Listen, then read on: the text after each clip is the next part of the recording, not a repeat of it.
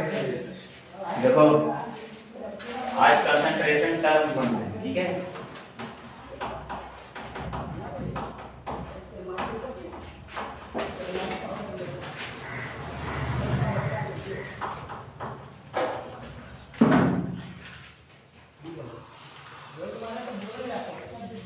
Concentration term अब हम solutions की बात करेंगे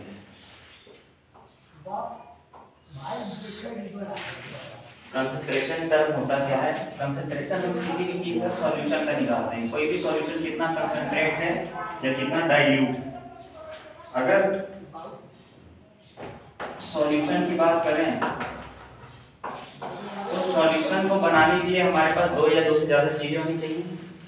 सबसे पहला तो जिस चीज़ को हम लोग जिस चीज़ में डाल रहे हैं, जैसे मान बीकर है। बीकर में हम एक सॉल्यूशन बनाना चाहते हैं। इसमें यहाँ पे कोई चीज़ पहले से पड़ी हुई है, ये लिक्विड फॉर्म ठीक है? इसका स्टेट लिक्विड है। यहाँ से हम कोई भी पार्ट पार्टिकल लाए, चाहे सॉलिड हो, चाहे लिक्विड हो, चाहे गैस हो सॉल्यूशन कहीं भी बन सकता है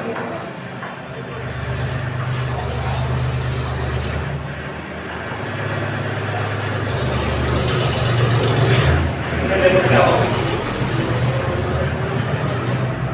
अगर हमें कोई भी सॉल्यूशन बनाना है तो हमें सबसे पहले एक बड़ी सी चीज़ लेनी होगी। जो भी हमारे पास दो कंपोनेंट होंगे सॉल्यूशन के अलग अलग कंपोनेंट होते हैं। ये दो भी हो सकते हैं, तीन भी हो सकते हैं, चार भी हो सकते हैं। मान लो हमारे पास केवल दो कंपोनेंट एक कंपोनेंट जिसको जो इन तीनों में से कोई भी फॉर्म में हो सकता है, दूसरा कंपोनेंट भी तीनों में से किसी भी फॉर्म में हो सकता है। सपोज़ करो हमने एग्जांपल लिया शुगर का। हम शुगर का वाटर के साथ सॉल्यूशन बनाना चाहते हैं sugar water solution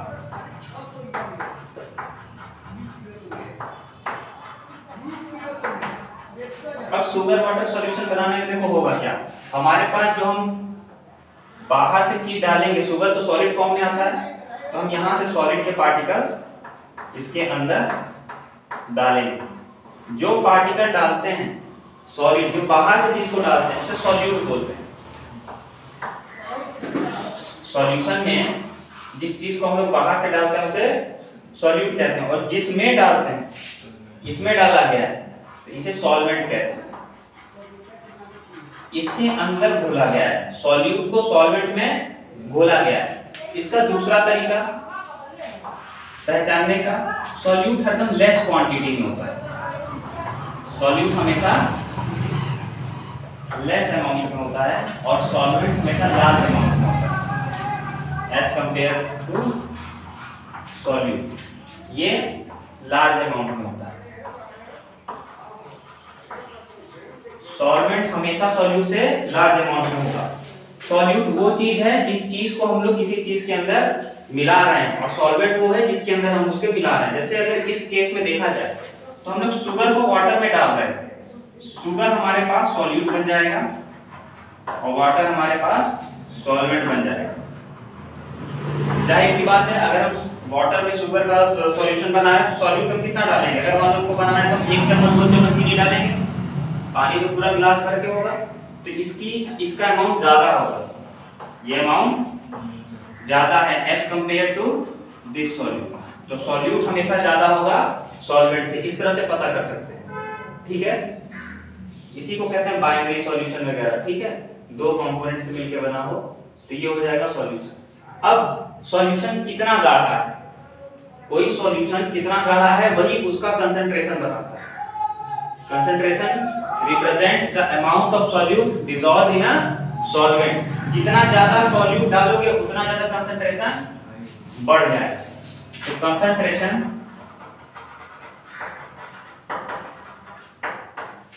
determines the amount of solute present in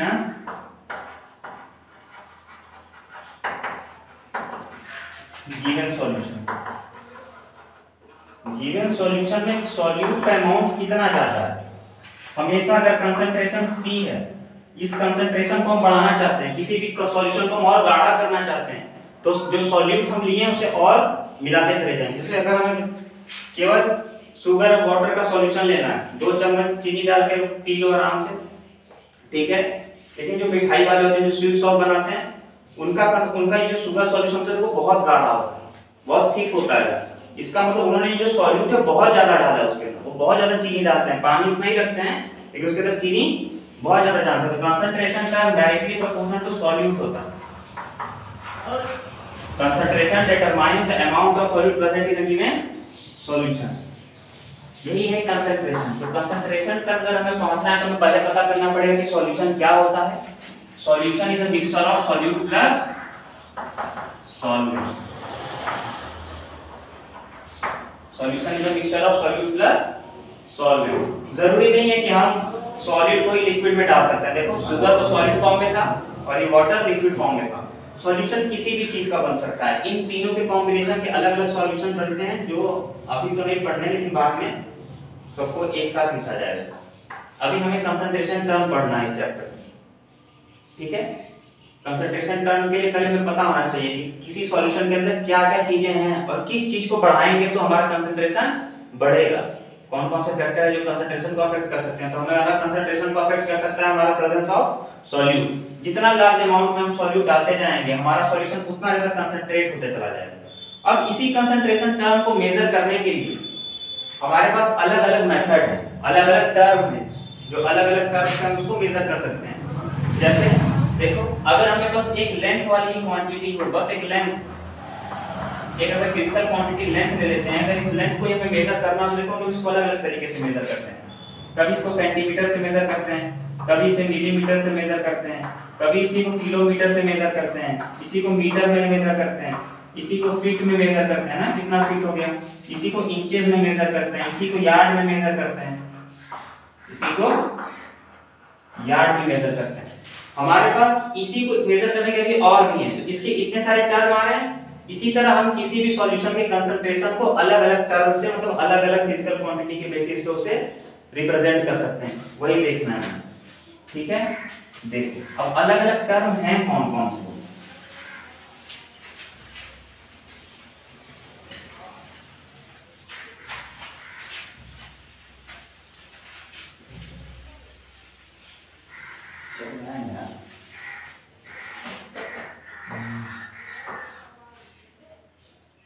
देखो तो कंसंट्रेशन टर्म में देखो पहला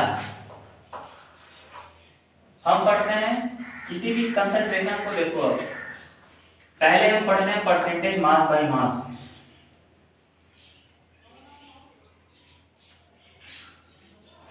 पहला हमें कंसंट्रेशन टर्म पढ़ना है परसेंटेज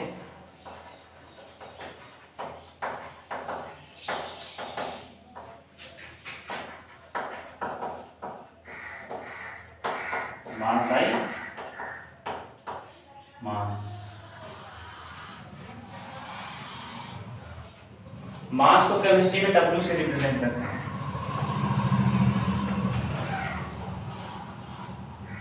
ठीक है तो इसको हम लिख सकते हैं हम ये क्या पढ़ रहे हैं percentage W by W by मतलब डिवाइड ठीक है W बाई W पर तो percentage mass by mass concentration क्या बताता है कि the amount of solute dissolve in 100 gram of solution percentage देखना है, इसको ऐसे लिखेंगे। परसेंटेज W बाई W, ये किसके बराबर होता है? ये होता है W सॉल्यूट सॉल्यूट का वेट ये सॉल्यूट का मास अपॉन पूरे टोटल सॉल्यूशन का वेट हमें परसेंटेज निकालना है, इसका तो क्या करते हैं 100 से मल्टीप्लाई करते हैं तो अगर पूछे कि what is the percentage by mass of इतना कोई भी सॉल्यूशन या शुगर सॉल्यूशन वाटर सॉल्यूशन जो भी हम डाले थे, उसको निकालना है। जैसे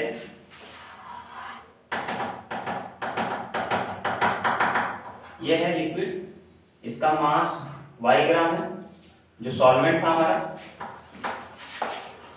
सॉल्वेंट हमारे पास वाई है, ठीक है? जो सॉल्यूट हम डाल रहे थे ऊपर से सॉल्यूट हमने एक्स ले लिया एक्स ग्राम, ठीक है? अगर यहाँ पर अगर हम इसकी वैल्यू रखने की कोशिश करेंगे तो देखो क्या आएगा W सॉल्यूट रखना है। सॉल्यूट कितना ग्राम लिए x यहाँ देखो लेकिन सॉल्यूशन लिखा हुआ है। अभी भी बताया था कि सॉल्यूशन होता क्या है? सॉल्यूशन होता है सॉल्यूट प्लस सॉल्वेंट सॉल्यूशन होता है सॉल्यूट प्लस सॉल्वेंट के बराबर। तो सॉल्यूट कितना है? X ग्राम सॉल्वेंट कितना है? ये देखो, y ग्राम तो जब सॉल्यूशन का मास लिखेंगे तो x प्लस वाई दोनों लिखेंगे। यहाँ क्या लिखेंगे? x प्लस वाई ये तो हो गया ये वाला फ्रैक्शन का टर्म अभी ये 100 बाकी है, इसको यहाँ से मल्टीप्लाई कर देंगे। तो हमें इससे पता चल जाएगा कि कितना अमाउंट कितना ग्राम ऑफ़ सॉल्यूट कितने ग्राम ऑफ़ सॉल्यूशन में मिलाया गया। उसको सॉल्यूशन में कितना अमाउंट ऑफ़ हमें सॉल्यूट लगा हुआ है। कभी कभी देखो, इसमें डाटा दिखता है कभी।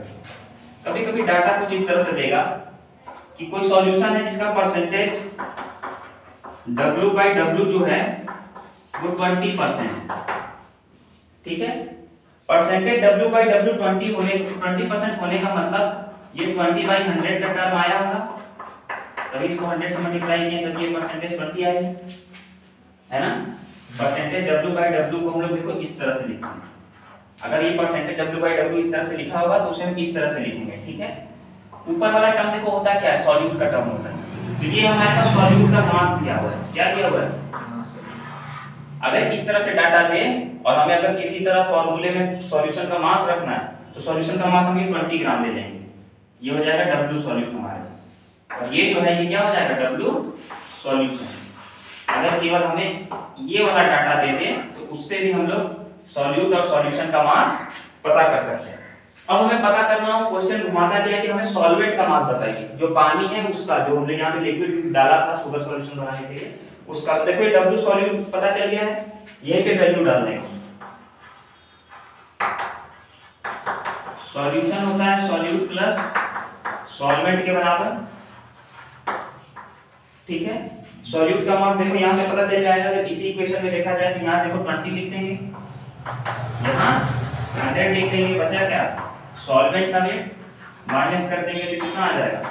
इसको इस साइड लाएँगे माइनस हो जाएगा 80 ग्राम तो 80 ग्राम हमारे पास सॉल्वेंट होगा। तो इस तरह से हम सॉल्वेंट का भी डाटा निकाल सकते हैं। केवल अगर हमें इस तरह से परसेंटेज लिख के दे दे तो। ठीक है? ओनली परसेंटेज रहेगा तो भी हम इस तरह से डाटा यहाँ पर कैलकुलेट कर सकते हैं। तो हमने पढ़ा परसेंटेज मास बाय मास ये परसेंटेज मास बाय मास क्या कहता है? रिप्रेजेंटेशन देखो बुक में इस तरह से बहुत बार दिखेगा। तो जैसे ही न्यूमेरिकल्स में ये डाटा दिखेगा, तुरंत हम उसको इस फॉर्म में कन्वर्ट करेंगे और ऊपर वाले का, ऊपर जो नंबर लिखा होगा वो सॉल्यूट का मास हो जाएगा और नीचे जो 100 होगा वो सॉल्यूशन का मास हो जाएगा। तो परसेंटेज बाय मास कहता क्या है? It is the amount of solute in a per 100 gram of solution. तो परसेंटेज मास बाई मास होगा डिफाइन करना तो कैसे डिफाइन कर सकते हैं? कि it is it is the mass of solute dissolved in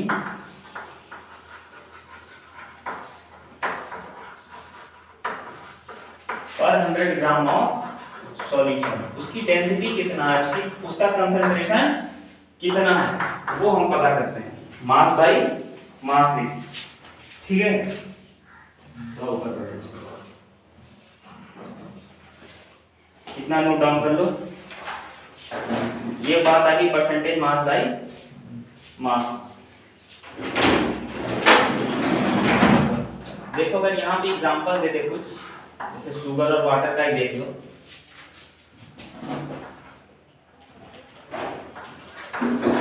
कि 30 gram of sugar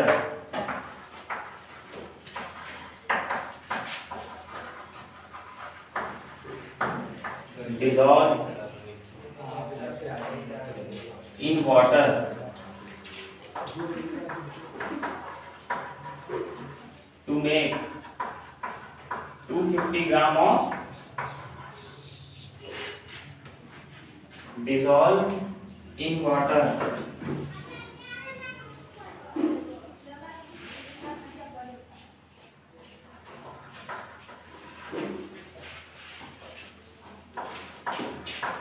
to make solution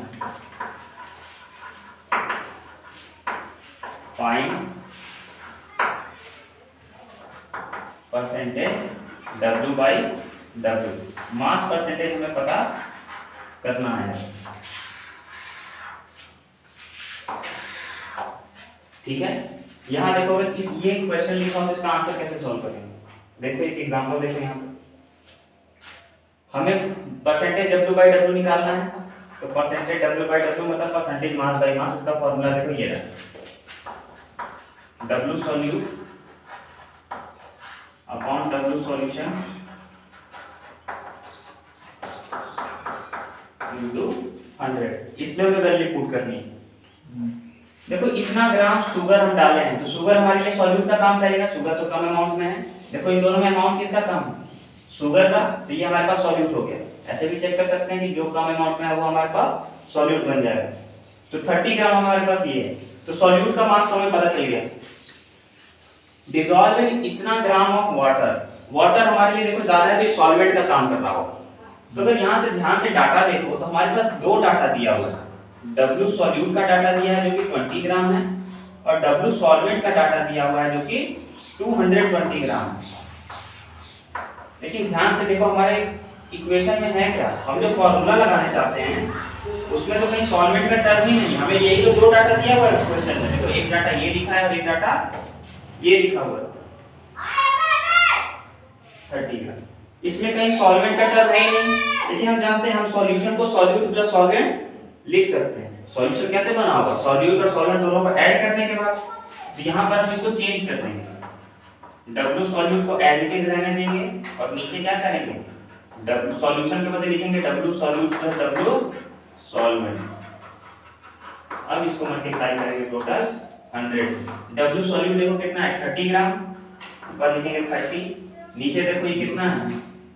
फिर यहाँ देखो W सॉल्यूट है 30 प्लस 220 इनटू हंड्रेड तो ये करीब राउंड फिगर देगा हमें thirty upon two hundred fifty into hundred और ये जो भी आएगा ये इसका परसेंटेज में आंसर ठीक है कितना भी कटेगा तो देखो ये वन ज़ीरो से वन ज़ीरो कट गया फाइव के टेबल से टू बार में कटेगा फाइव के टेबल से फाइव बार में कटेगा फाइव सिक्स और सिक्स ट्वेल्व ये हो गया इसका twelve percent W by W तो ये डाटा देखो कितने का दिया हुआ ये 220 ग्राम का दिया था। कितने ग्राम का? 220 ग्राम में 30 ग्राम डाला गया। इस तरह से डाटा दिया है ना? लेकिन हमारा परसेंटेज तो 12 आया। है इसका मतलब अगर हम 100 ग्राम इसको लेंगे, इसको 220 में रख के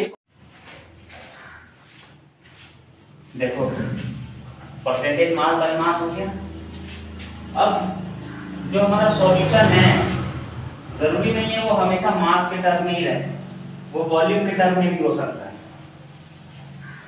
हमारा जो सॉल्यूशन है, वो हमें क्वेश्चन में वॉल्यूम के टर्म में भी गिवन हो सकता है। तो कंसंट्रेशन को हम लोग वॉल्यूम के टर्म में भी डाल सकते हैं। इसी कंसंट्रेशन टर्म को हम लोग वॉल्यूम के टर्म में भी रिप्रेजेंट कर सकते हैं। जैसे, अब अगला टॉपिक हमारा हो सकता है part two percentage mass by volume mass by volume कहने का मतलब है? क्या देखो, हम मास है जो पहला टर्म है, हमारे पास सॉल्यूट को बताते हैं। ठीक है? ये जो सॉल्यूट है, जिसको हम लोग इसके अंदर अभी डालेंगे, इस अंदर तो हमारे यहाँ पे सॉल्वेंट जो होना चाहिए सॉल्वेंट हमारे पास लिक्विड फॉर्म में होना चाहिए, और सॉल्यूट हमारे पास सॉलिड फॉर्म में होना चाहिए। अगर हमारा सॉल्यूट सॉलिड फॉर्म में है और सॉल्वेंट जो हम ले रहे हैं, उसको हम लोग लिक्विड फॉर्म में ले रहे हैं तो जो हमारा कंसंट्रेशन का टर्म बनेगा तो हम जो जिस चीज़ से जिस क्वांटिटी में हम कंसंट्रेशन को मेजर कर पाएँगे तो उसे हम लिख पाएँगे परसेंटेज मास बाय वॉल्यूम इसका तो हमने मास में लिया सॉलिड को हम लोग मास में ला देंगे और लिक्विड को हम लोग वॉल्यूम तो ऐसे कंडीशन में लिख सकते हैं परसेंटेज मास बाय वॉल्यूम वही एग्जांपल जो हमने शुगर का लिया इस बार हमने क्या अज्यूम किया था? शुगर जो है, पहले वाले केस में मास बाय मास वाले में। शुगर को भी हमने ग्राम में मेजर किया था और लिक्विड को भी हमने ग्राम में मेजर किया था। लेकिन इस बार शुगर को हम लोग ग्राम में मेजर करेंगे और लिक्विड को हम लोग एमएल में वॉल्यूम मतलब एमएल में। ये वाटर है। इस वाटर का हम लोग जो भी डाटा लेंगे, हम एमएल में लेंगे। मतलब वॉल्यूम में। अब जो इसका कंसंट्रेशन आएगा, वो देखो कैसे लिखते हैं। तो ये हो गया परसेंटेज मास बाई वॉल्यूम तो परसेंटेज मास मतलब W से लिखते हैं।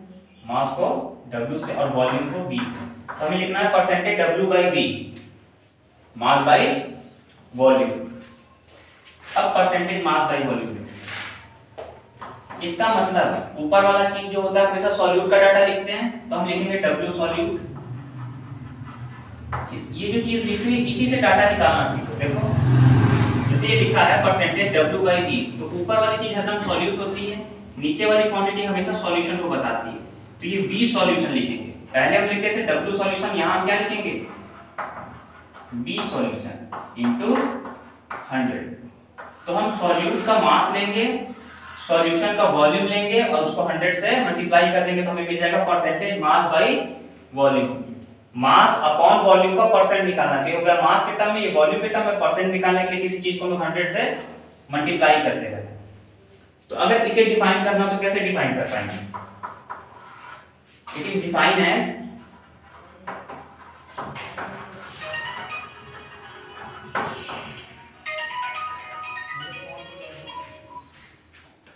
it is defined as the amount of solute dissolved in amount of solute dissolved in 100 ml of solution. 100 ml of solution. यहाँ भी देखो ध्यान से। जो नीचे वाला टर्म है सॉल्वेंट का नहीं है सॉल्यूशन का है। तो हम दोनों का टर्म इस्तेमाल करेंगे। ठीक है?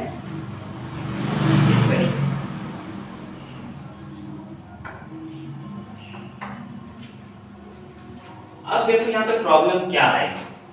कभी कभी तुम्हें कंफ्यूज करने के लिए जो ये जो इस सॉल्यूशन का वेट है, ये तुम्हें मास के टर्म में देगा। लेकिन हमें सॉल्यूशन को मास के टर्म में लिखना नहीं है वॉल्यूम के टर्म में लिखना है। तो क्वेश्चन में तुम्हें इस सॉल्यूशन की डेंसिटी देगा। तो हम जानते हैं कि डेंसिटी मास अपॉन वॉल्यूम होती है। ठीक है? तो मास दिया हुआ वॉल्यूम निकालना होगा। तो अगर वॉल्यूम हमें कैलकुलेट करना पड़ेगा वॉल्यूम ऑफ़ सॉल्यूशन अगर मैं मास के टर्म में दिया है तो हम मास अपॉन डेंसिटी कर देंगे जो भी सॉल्यूशन का मास होगा, उसको हम डेंसिटी से गिवन डेंसिटी से डिवाइड कर देंगे तो हमें वॉल्यूम मिल जाएगा तो क्वेश्चन में ये चीज़ घुमा के देता है। डायरेक्ट नहीं देगा, थोड़ा सा इस तरह से चेंज करना पड़ेगा तो उसे हम लोग चेंज कर सकते हैं। जैसे देखो ना।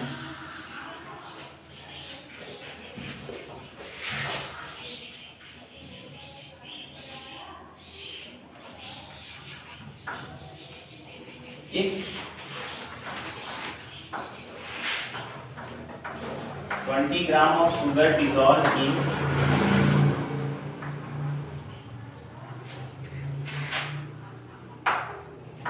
water. Two four.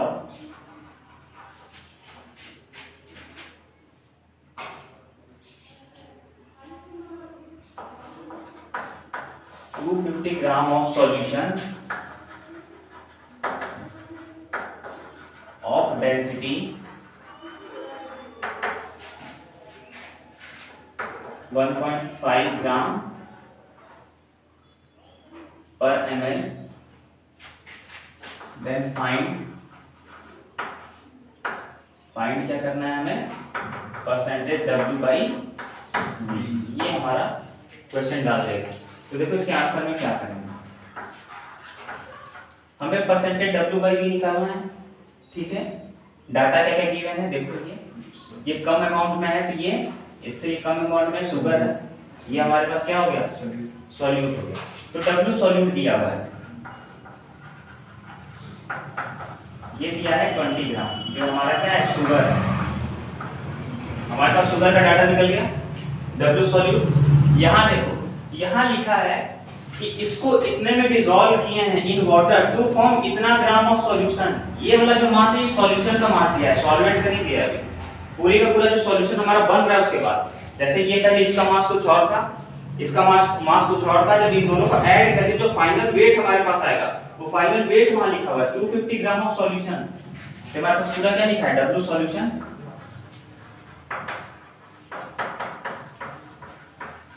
two fifty gram लिखा हुआ है, पूरे होल सॉल्यूशन ठीक है?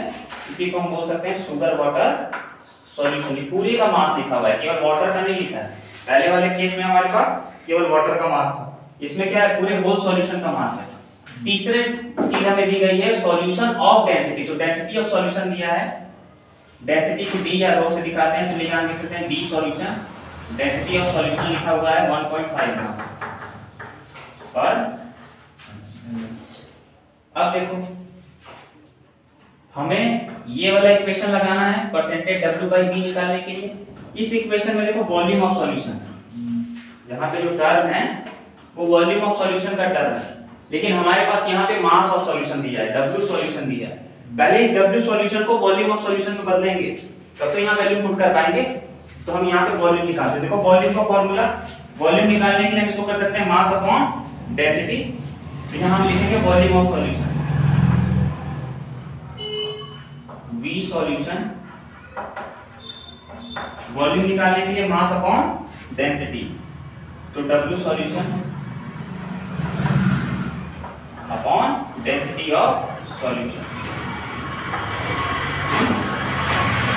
W solution है कितना? ये है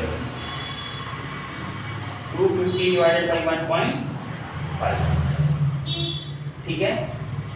इसे अगर कंपेयर करना चाहोगे तो कैसे कर सकते हैं टू फाइव ज़ीरो ज़ीरो एक ज़ीरो ऊपर ले लो तो थ्री बन जाएगा। इसे फाइव के टेबल से काटेंगे थ्री बार में, ये कटेगा फाइव हंड्रेड बार में। क्या आ जाएगा five hundred upon three M L volume आ गया ना एम एल में। किसमें आ गया?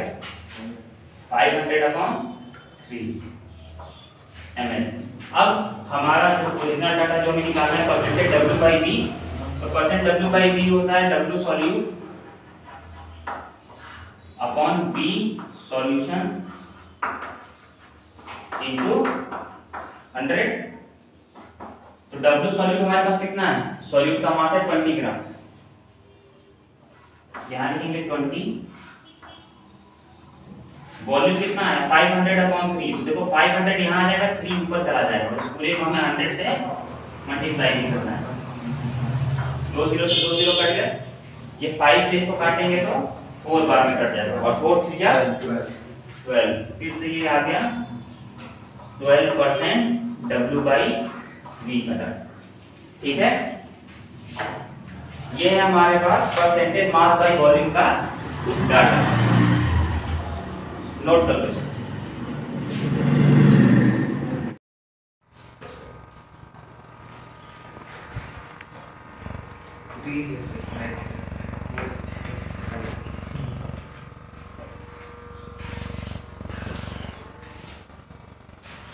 देखो।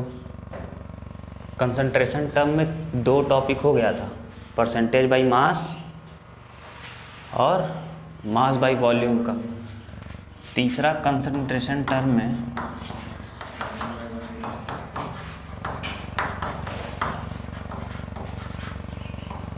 कंसंट्रेशन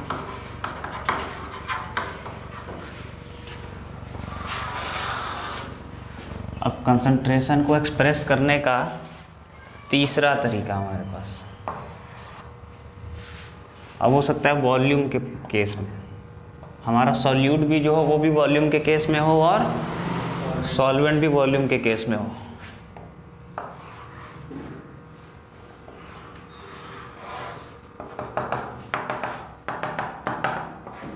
जिसमें घोलते हैं, उसको कहते हैं सॉल्वेंट और जिसको घोलते हैं, उसको कहते हैं सॉल्यूट। तो ये हो गया हमारा सॉल्वेंट। इस सॉल्वेंट को हमें रखना है लिक्विड के केस में। और ये अगर लिक्विड के केस में होगा तो इसको किसमें मेज़र किया जाएगा? वॉल्यूम में। हमें, हमने, हमें अब जो सॉल्यूट लेना है, ये सॉल्यूट भी हमें लिक्विड का ही सॉल्यूट लेना है। जिसको किसमें मेज़र जाएगा? मेज़र किया जाएगा वॉल्यूम में ही। जैसे दूध में पानी मिला देते हैं ना, उसी तरीके से। दूध हमारा सॉल्वेंट है। खुद ही लिक्विड के फॉर्म में था और वाटर हमारे पास खुद ही सॉल्यूट का काम किया जो कि खुद लिक्विड के फॉर्म में था। अब अगर इसको इसमें डालते हैं, अब देखेंगे जितना कंसंट्रेशन हमें मिला, कितना मिला तो उसको मेज़र करने के लिए लिखेंगे percentage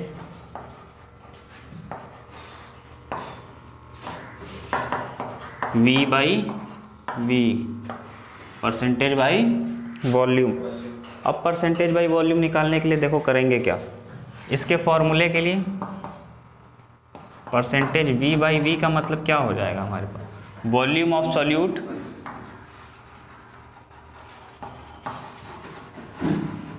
upon volume solution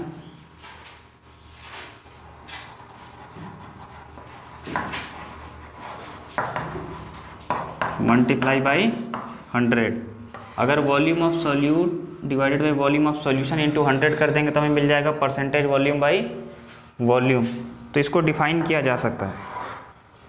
इसको आप डिफाइन कर सकते हैं। The volume of the volume of solute dissolve in 100 M of solution is known as percentage V by V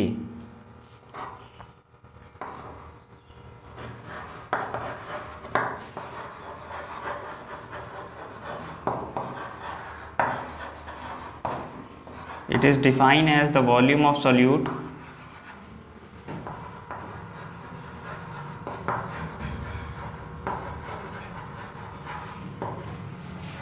dissolved in 100 ml of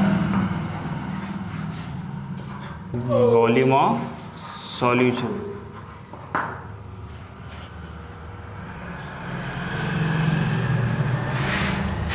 अगर इस तरह से अगर डिनोटेड हो 10 परसेंट वॉल्यूम बाई वॉल्यूम तो 10 percent volume by volume denote हो denote होगा, इसका मतलब 10 अपॉन हंड्रेड जो ऊपर रहता है वो सॉल्यूट तो ये हो जाएगा हमारे पास वॉल्यूम ऑफ़ सॉल्यूट ये सॉल्यूट का वॉल्यूम दिया होगा और जो नीचे हंड्रेड ए क्या दिया होगा? वॉल्यूम ऑफ़ सॉल्यूशन फिर इसमें डेंसिटी के टर्म में घुमाएगा। डेंसिटी दे देगा सॉल्यूशन की। बोलेगा उसके वॉल्यूम निकालो तो डेंसिटी को मास अपॉन वॉल्यूम से बार बार एक्सचेंज कर लेंगे। जितनी बार भी आएगा, उसको बार बार एक्सचेंज करते हुए चलेंगे। अगर वॉल्यूम ऑफ़ सॉल्यूशन हमें एमएल में ना दे, यहाँ पे मास लिख दे इसका कि मास ऑफ़ सॉल्यूशन इतना गिवन है, लेकिन हमें तो इस फॉर्मूले में यहाँ पे वॉल्यूम लिखना है बार बार। तो जहाँ जहाँ वॉल्यूम लिखना है, अगर मास का टर्म देगा तो डेंसिटी से उसको एक्सचेंज कर लेंगे। Density is equal to mass upon volume का फॉर्मूला लगा के एक्सचेंज कर लेंगे इसको। अब देखो, अगर इस तरह से कह दें।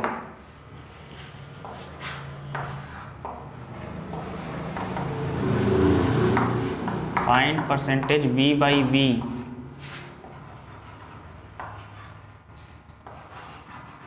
of nitrogen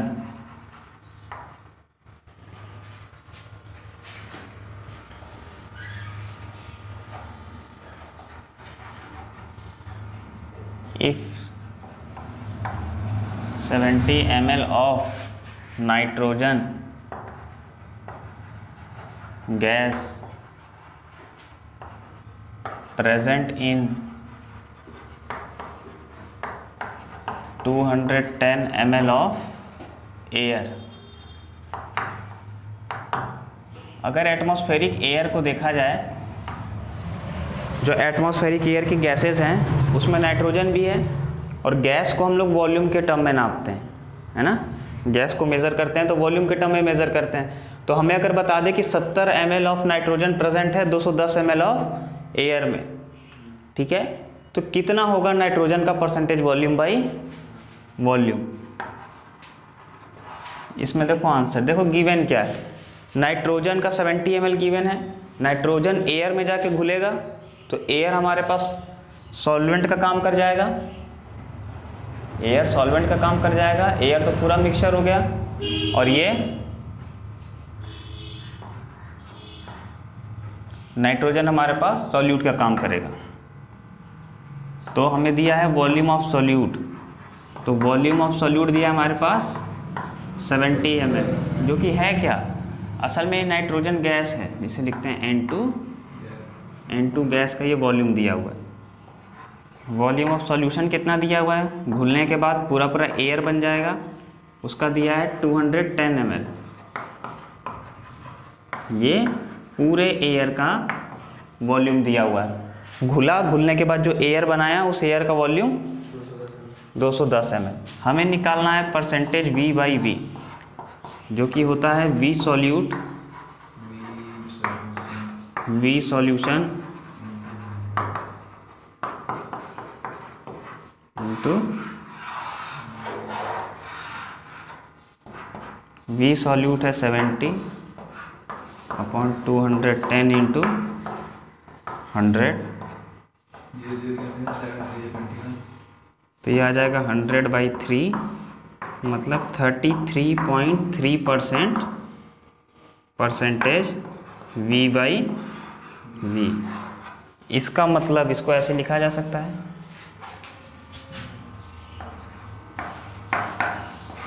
इतना परसेंट आ गया। तो इतना volume of solute 33.3 ml volume of solute per 100 ml में डिजॉल्व है। अगर रेशियो लेना है हमें कि पर 100 ml में हम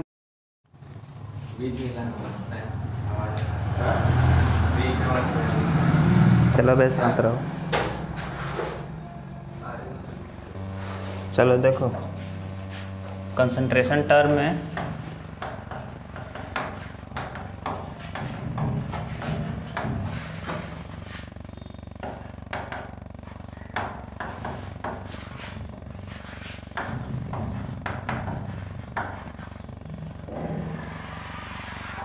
जब कंसंट्रेशन टर्म के बारे में डील कर रहे थे तो शुरुआत से हम लोग उसके सॉल्यूट के बारे में डील करते हैं। कोई भी सॉल्यूशन क्या है कंसनट्रेट है या नहीं है, कितना कंसनट्रेट है, कितना कम कंसनट्रेट है, वो कैसे पता चलता है? जितना अमाउंट हम उसमें सॉल्यूट डाल देते हैं।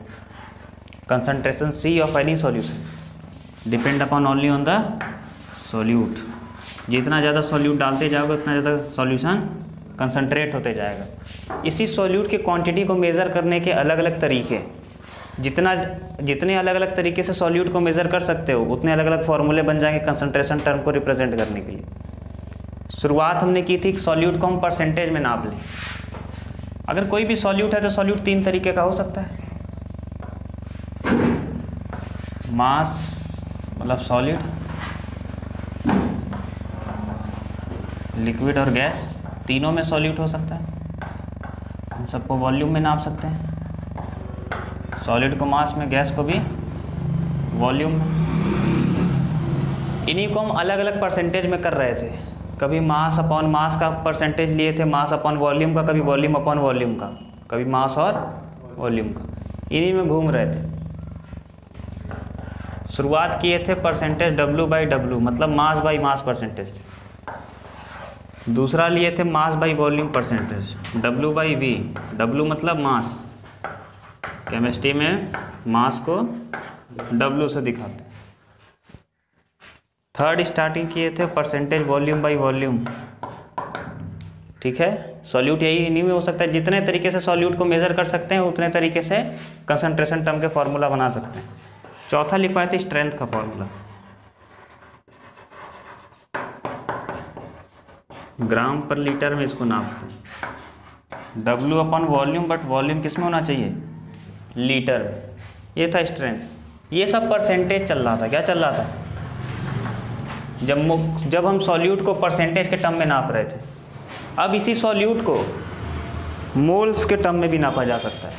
कितना मोल सॉल्यूट हम डाल रहे हैं किसी सॉल्वेंट में।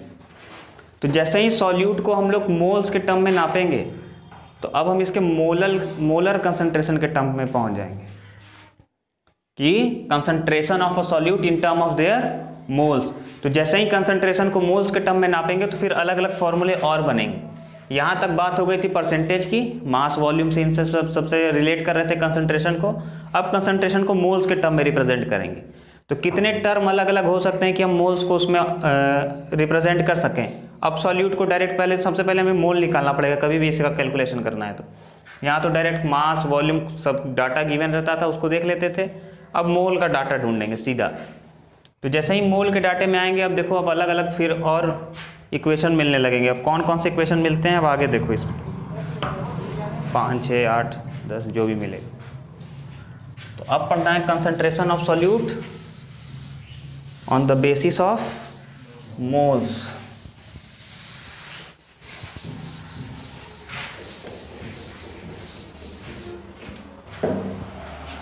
ठीक है?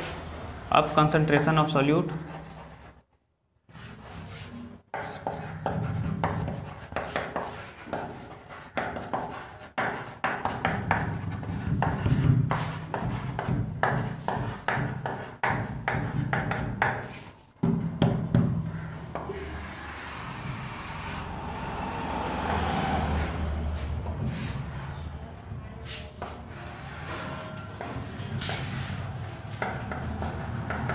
concentration of solute in terms of mole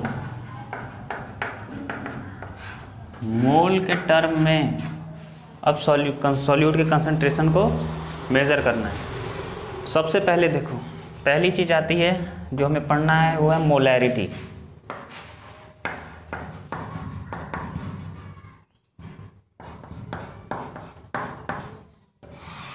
start करना है मोलैरिटी से।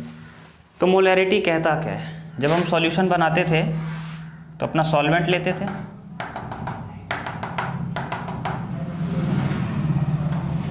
इसके अंदर सॉल्यूट डालते थे।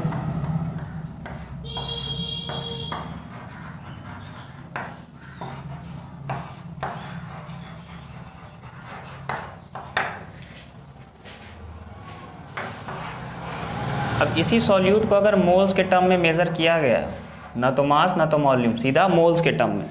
तो कितना मोल ऑफ़ सॉल्यूट, कितने वॉल्यूम ऑफ़ सॉल्वेंट में डिजॉल्व है? वॉल्यूम हम कंसिडर करेंगे, वॉल्यूम को फिक्स रखेंगे, कितना एक लीटर में जाके घुल सकता है? एक लीटर पानी में कितना मोल ऑफ़ सॉल्यूट को हम डिसॉल्व कर सकते हैं? यही बताएगा इसकी मोलैरिटी। तो molarity is a concentration of a solute. concentration of a solution measured in the term of mole it is the ratio of mole of solute to the volume of solvent solution in liter इसको अगर define करना चाहें तो देखो molarity को ऐसे लिखते हैं मोलैरिटी को लिखते हैं mole of solute upon volume volume of solution और सॉल्यूशन का जो वॉल्यूम है वो लीटर में होना चाहिए। तो अगर इस इक्वेशन से इसका डेफिनेशन लिखना हो, अगर इस इक्वेशन से मोलैरिटी की डेफिनेशन लिखनी है तो देखो क्या कर सकते हैं सीधा सीधा the amount of mole of solute the amount of mole of solute dissolve in per litre of solution per litre of solution में कितना? डिजॉल्व हो सकता है। अब ध्यान से देखो मोल। मोल ऑफ़ सॉल्यूट क्या हो सकता है? मोल का फॉर्मूला? मास के टर्म में, वॉल्यूम के टर्म में, नंबर के टर्म में। हम देखो मास के टर्म में इसको लिखते हैं। तो यहाँ लिख सकते हैं मास। जिसका मोल होता है उसी का मास लिखेंगे तो यहाँ लिखेंगे W solute. Mass of solute divided by molecular weight of solute अगर करेंगे, मोलर मास ऑफ़ सॉल्यूट। ये तो मोल हो गया, क्या हो गया? ये इतनी बड़ा केवल मोल की वैल्यू लिखें। ठीक है? ये डिवाइड हो ही रहा था। नीचे क्या है? Volume of solution in litre. तो ये है वी सॉल्यूशन। किसमें? लीटर में। अगर इस लीटर को लीटर में ना लिखें, वॉल्यूम अगर एमएल में दिया हो तो इसको कन्वर्ट कर लेंगे लीटर से एमएल में। तो जैसे ही लीटर से एमएल में कन्वर्ट करेंगे ऊपर थाउज़ेंड से मल्टीप्लाई कर लेंगे। एक लीटर में हज़ार एम होता है। तो अगर एमएल में डाटा निकालना है तो एक एम कितना हो जाएगा? वन अपॉन इस लीटर को अगर एमएल में बदलेंगे तो इससे डिवाइड कर देंगे। तो यहाँ पे अगर वन अपॉइंट थाउज़ेंड लिखेंगे तो थाउज़ेंड ऊपर चला जाएगा। तो अगर इसी मोलैरिटी को फिर से लिखना चाहें तो और इसको बदला जा सकता है। ऊपर अब हंड्रेड थाउज़ेंड आ जाएगा और यहाँ आ जाएगा वी सॉल्यूशन एम में। और मोलैरिटी को कैपिटल एम से दिखाते हैं। तो इसके ये तीन अलग अलग फॉर्मूले बन सकते हैं। अब इन्हीं फॉर्मूले से कैलकुलेशन करना होगा।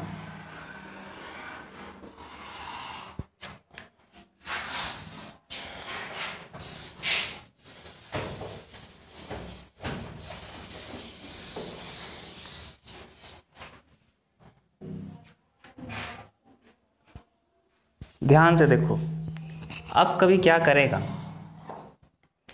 तुम्हें सॉल्यूशन का वॉल्यूम भी दे देगा और मोलैरिटी भी दे देगा। अधिकतर जब भी हम देखते हैं लैब वैब में लैब में जो बीकर रखे रहते हैं ना एस के या किसी और चीज़ के केमिकल्स के तो उसमें हमेशा उसका मोलर कंसनट्रेशन ही ज़्यादा लिखा रहता है। उसका मोलर कंसनट्रेशन लिखा रहता है। बीकर मान लो 250 फिफ्टी का है, उस पर लिखा रहेगा, ये ये वन मोलर है, ये टू मोलर सॉल्यूशन है, ऐसे करके। या वन नॉर्मेलिटी है नॉर्मेलिटी एक अलग चीज़ आती है, उसको बताएँगे तो इस तरह से वन मोलर लिखा होगा। तो अगर मोलैरिटी दे दिया हो और वॉल्यूम दे दिया हो, हमें केवल डाटा दो दिया हो, एक दिया हो, मोलैरिटी इसकी और दूसरा इसका वॉल्यूम दिया हो तो भी हम यहाँ से इसके सॉल्यूट का डाटा निकाल सकते हैं। जैसे अभी हमने पढ़ा क्या है, देखो ये मोलैरिटी का एम का फॉर्मूला होता है, नंबर ऑफ़ मोल को एन दिखाते हैं एन अपॉन वी ही तो होती है मोलैरिटी, जब वॉल्यूम को लीटर में रखते हैं। तो अगर एम इंटू वी करेंगे तो देखो ये मोल्स आ जाएगा, cross multiply. Number of mole को एन से दिखाते हैं, फॉर्मूला है ना ये ऊपर वाला, ये। और वॉल्यूम ऑफ़ सॉल्यूशन बी से। क्रॉस मल्टीप्लाई कर दो वी को इधर, ये एम बी अगर मोलैरिटी जो दी हुई है वहाँ पर, वन मोलर, टू मोलर, कुछ भी, और बीकर इतना बड़ा होता है, वॉल्यूम उसकी लिखी होती है, कितने एमएल का बीकर है तो वहाँ से हम उसके में number of mole of solute पता कर सकते हैं।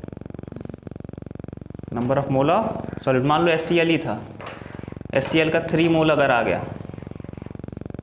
तो एस का मॉलिकुलर वेट तो हम जानते ही हैं। फिर इस मोल वाले फार्मूले को क्या करेंगे? डब्लू अपॉन मॉलिकुलर वेट में लगा देंगे।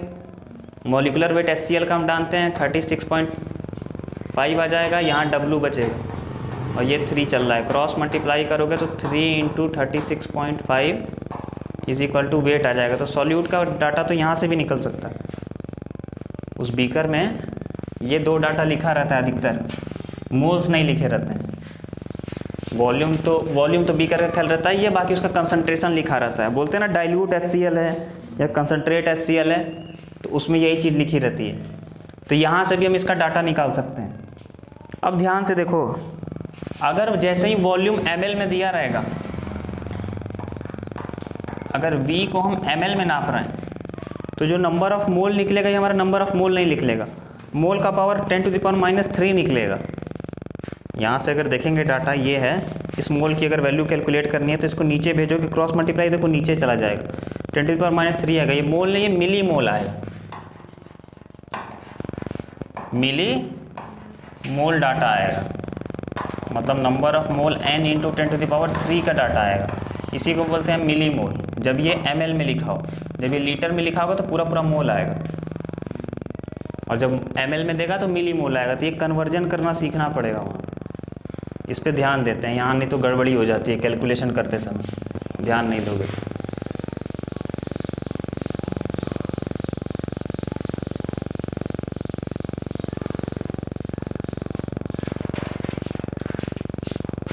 ये तो हो गई देखो मोलैरिटी की बात। इसी मोलैरिटी में देखो अब अलग अलग कंडीशन आ सकती है। जैसे मान लो, हम दो अलग अलग तरीके के बीकर लेते हैं। पहला ए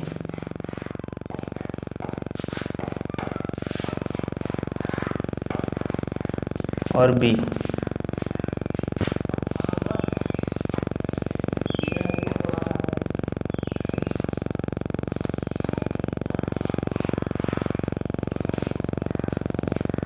पहले वाले का जो मोलैरिटी है, वो एम ए, वॉल्यूम वी ठीक? दूसरे वाले की molarity M B, volume V B. अब अगर इन दोनों को हम एक साथ मिला दें, और मिलाने के बाद यहाँ पे पोर कर दें इसको तो ये जो रिजल्टेंट सॉल्यूशन बनेगा, उसकी क्या मोलैरिटी रहेगी? अगर ऐसा कोई सॉल्यूशन है जिसका molarity M one M A है वॉल्यूम वी ए है, इसको सेकंड सॉल्यूशन जिसकी मोलैरिटी एम बी है वॉल्यूम वी बी है, इन दोनों को ऐड करते हैं। ऐड करेंगे तो ये बनेगा। ये मान लो सी बनेगा। सॉल्यूशन सी बन गया। तो पहले से सॉल्यूशन है, तभी तो इसकी मोलरिटी आई होगी। तो पहला सॉल्यूशन दूसरे सॉल्यूशन को अगर ऐड करके तीसरा सॉल्यूशन बना रहे हैं तो तीसरे सॉल्यूशन की मोलरिटी क्या होगी? तो एम सी बताना होगा। मोलरिटी ऑफ़ सी तो इसे कैसे कैलकुलेट करेंगे? अब देखो गड़बड़ क्या हो जाती जैसे ये क्वांटिटी डायरेक्ट एडेडेबल नहीं है।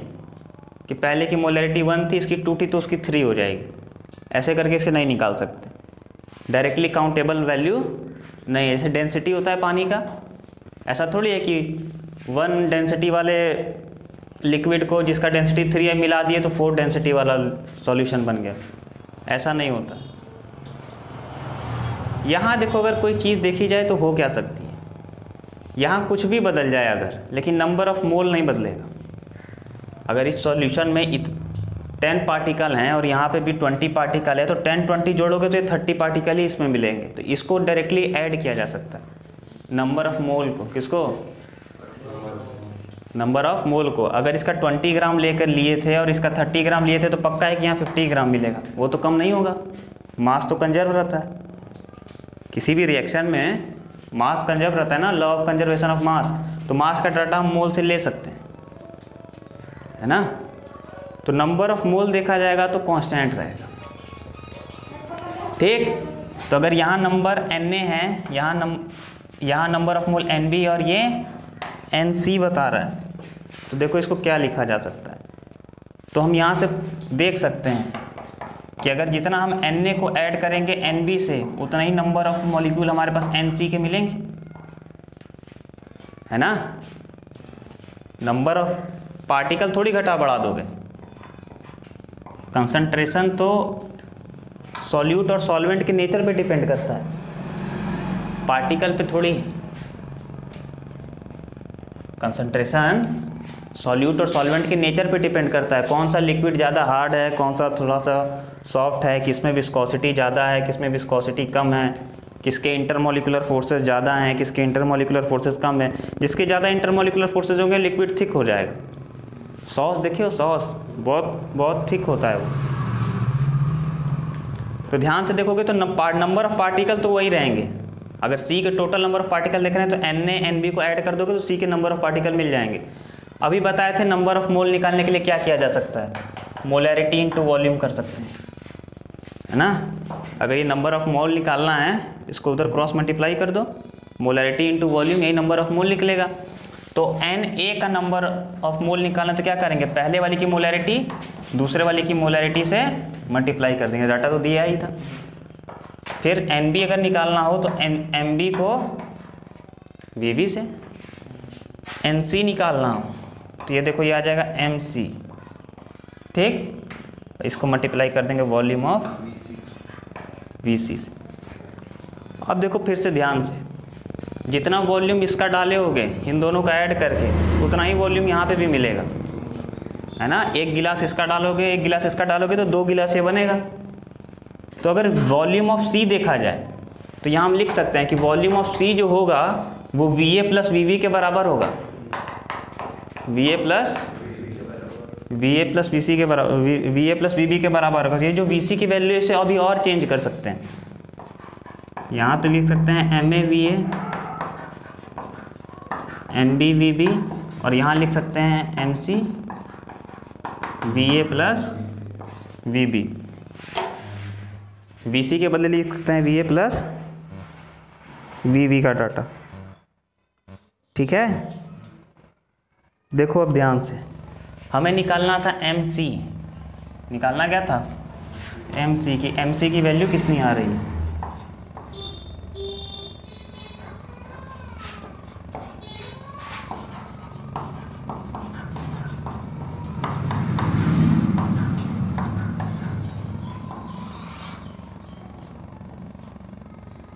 और ये V A upon V B पूरा डिवाइड हो जाएगा नीचे।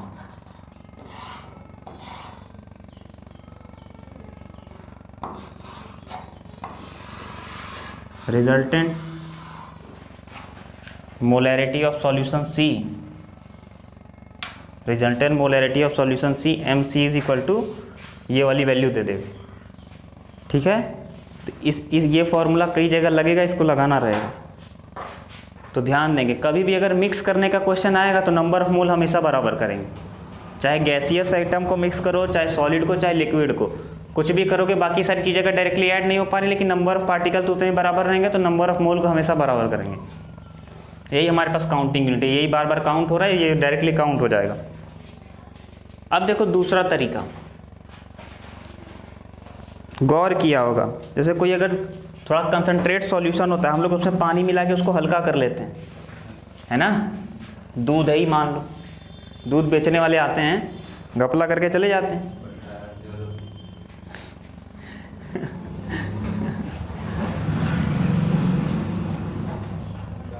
इसका molarity M one volume V one ये ओरिजिनल दूध है मान लो ये मिल्क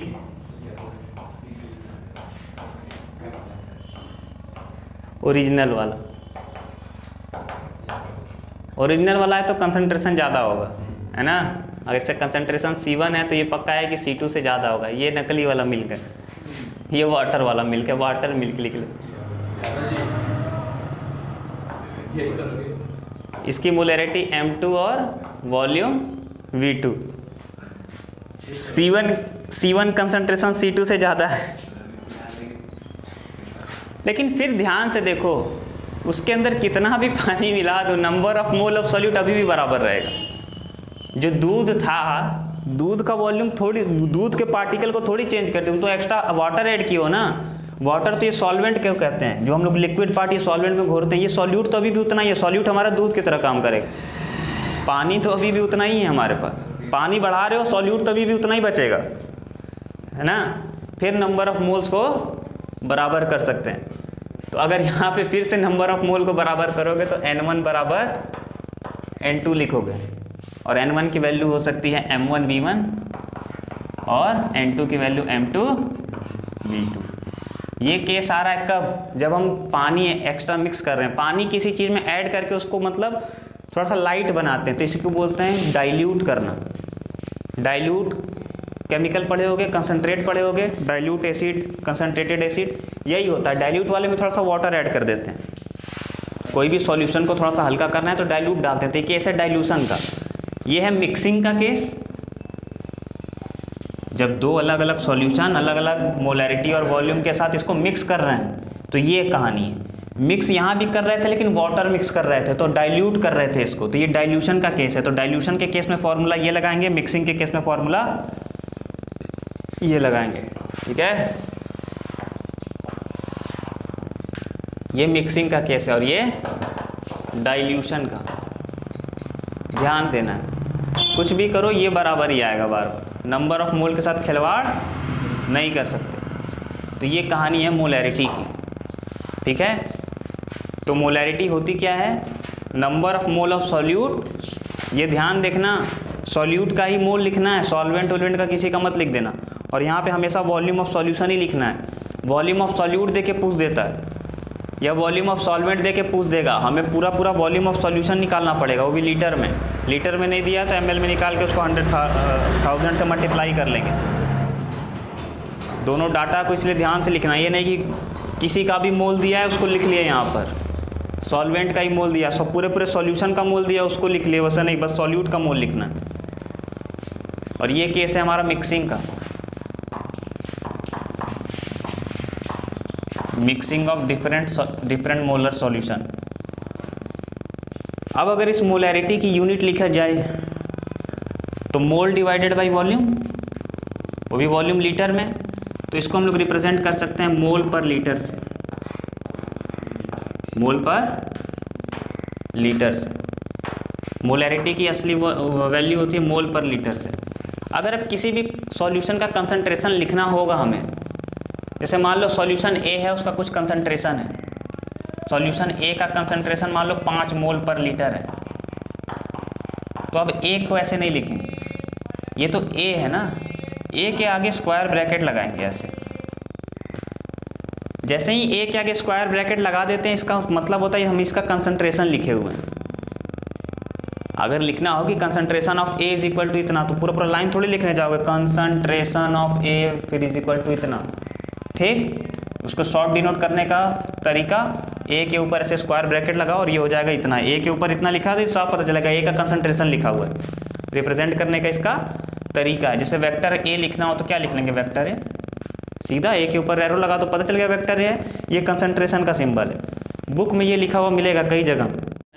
कंसनट्रेशन पढ़ रहे थे। अब पढ़ना है अगला टर्म पहला पढ़ लिया मोलैरिटी ठीक? दूसरा, अगर हम सॉल्यूट को मोल्स के टर्म में लिख रहे हैं तो दूसरा हमारे पास टर्म आता है molality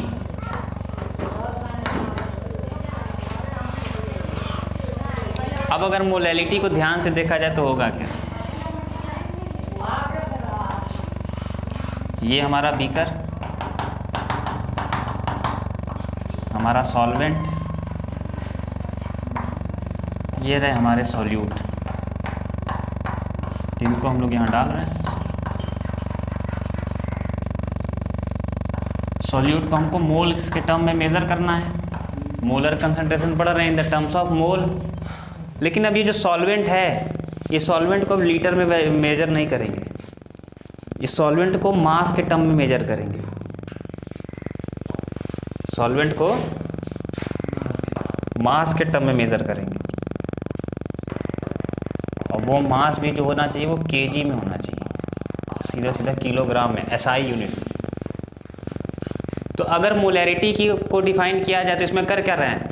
Mole of solute dissolve in इतना मास ऑफ़ सॉल्वेंट यही होती है मोलैरिटी कि जितना amount of mole of solute हम डिजॉल्व कर रहे हैं, किसी एक्स अमाउंट ऑफ़ सॉल्वेंट के मास में. और वो मास भी किसमें होना चाहिए? केजी में. तो इसको कहेंगे मोलैलिटी मोलैरिटी में क्या था? कि the amount of mole of solute dissolve in a per litre of solution यहाँ पे पर केजी ऑफ़ सॉल्वेंट है. वहाँ पे था मोलैरिटी m बराबर n अपॉन वी सॉल्यूशन था। यहाँ पर क्या हो जाएगा? n अपॉन w सॉल्वेंट हो जाएगा। सॉल्वेंट है, देखो ध्यान से, इसमें कंफ्यूज मत होना, ये सॉल्वेंट है, ये सॉल्यूशन है।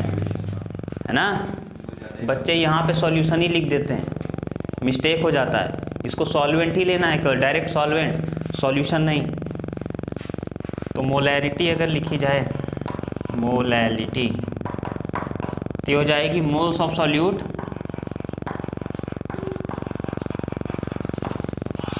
Divided by W solvent और जो डब्लू सॉल्वेंट होना चाहिए, वो सॉल्वेंट होना चाहिए हमारा केजी के टर्म में। अगर ये सॉल्वेंट केजी के टर्म में नहीं है ग्राम के टर्म में, और मोल को देखो और क्या चेंज कर सकते हैं। मोल को लिख सकते हैं W solute upon molar mass of solute ये हो गया मोल इसको लिख सकते हैं डब्लू सॉल्वेंट ग्राम में अगर इसको ग्राम में लिख रहे हैं तो ऊपर थाउज़ेंड से मल्टीप्लिकेशन ये बन जाएगी मोलैलिटी की का फॉर्मूला इसको स्मॉल एम से लिखते हैं। मोलैरिटी को कैपिटल एम और इसको स्मॉल एम मोलैरिटी में यहाँ पर वॉल्यूम ऑफ़ सॉल्यूशन लीटर में आता था। यहाँ पे वेट ऑफ़ सॉल्वेंट आता है। वो भी केजी में। बात क्या है कि जब भी हम सॉल्यूशन बनाने जाते हैं तो हम सॉल्यूशन भी तो अलग अलग तरीके से बना सकते हैं। Solid liquid gas solid liquid gas तीन तरह के मैटर हैं हमारे पास। ठीक है? अब देखो इन सबका कर क्या सकते हैं। सबसे पहले हम अगर यहाँ सॉल्यूट का डाटा अगर लिखना शुरू करें, और यहाँ पे सॉल्वेंट का डाटा लिखना शुरू करें तो सॉल्यूट और सॉल्वेंट को जोड़ेंगे तो हमको सॉल्यूशन मिल जाएगा। ध्यान से देखो, यहाँ बात आती क्या है? अगर सॉल्यूट हमारा सॉलिड है और ये हमारा सॉलिड हुआ सॉल्यूट सॉलिड भी हो सकता है, फिर सॉल्वेंट हमारा लिक्विड में भी हो सकता है। फिर से हमारा सॉल्यूट सॉलिड में हो सकता है और ये गैस के टर्म में हो सकता है। सॉलिड को सॉलिड में मिला रहे हैं, जैसे एलॉय बनाते हैं। गोल्ड बनता है ना सॉलिड को सॉलिड में मिलाते हैं, या सीमेंट को बालू में मिलाते हैं, सीधा सॉल्यूशन बनता है। तो सॉलिड का सॉल्यूशन बनता है। ठीक है? अब देखो यही हो सकता है, दूसरा केस। सॉल्यूट अभी भी विकास। सॉल्यूट अभी भी हमारा सॉलिड के टर्म में ही है। लेकिन सॉल्वेंट हमारा लिक्विड के टर्म में हो जाए। सॉलिड के टर्म में लिक्विड के टर्म में हो जाए। सॉल्ट इन वाटर का सॉल्यूशन सॉल्ट इन वाटर का सॉल्यूशन देखो कुछ इस तरीके का है अब अगर सॉलिड को गैस के साथ देखा जाए। तो सॉलिड पार्टिकल गैस में डिजॉल्व होने चाहिए। जो हमारा एयर है एयर के अंदर जो सस्पेंडिकुलर मैटर हैं या जिसे हम पॉल्यूटेंट्स बोलते हैं सब तो इसी में डिजॉल्व हैं। एयर में नहीं छोटे छोटे पार्टिकल या dust particle in air fog जिसे कहते हैं। ना? एक होता है फॉग एक होता है स्मोक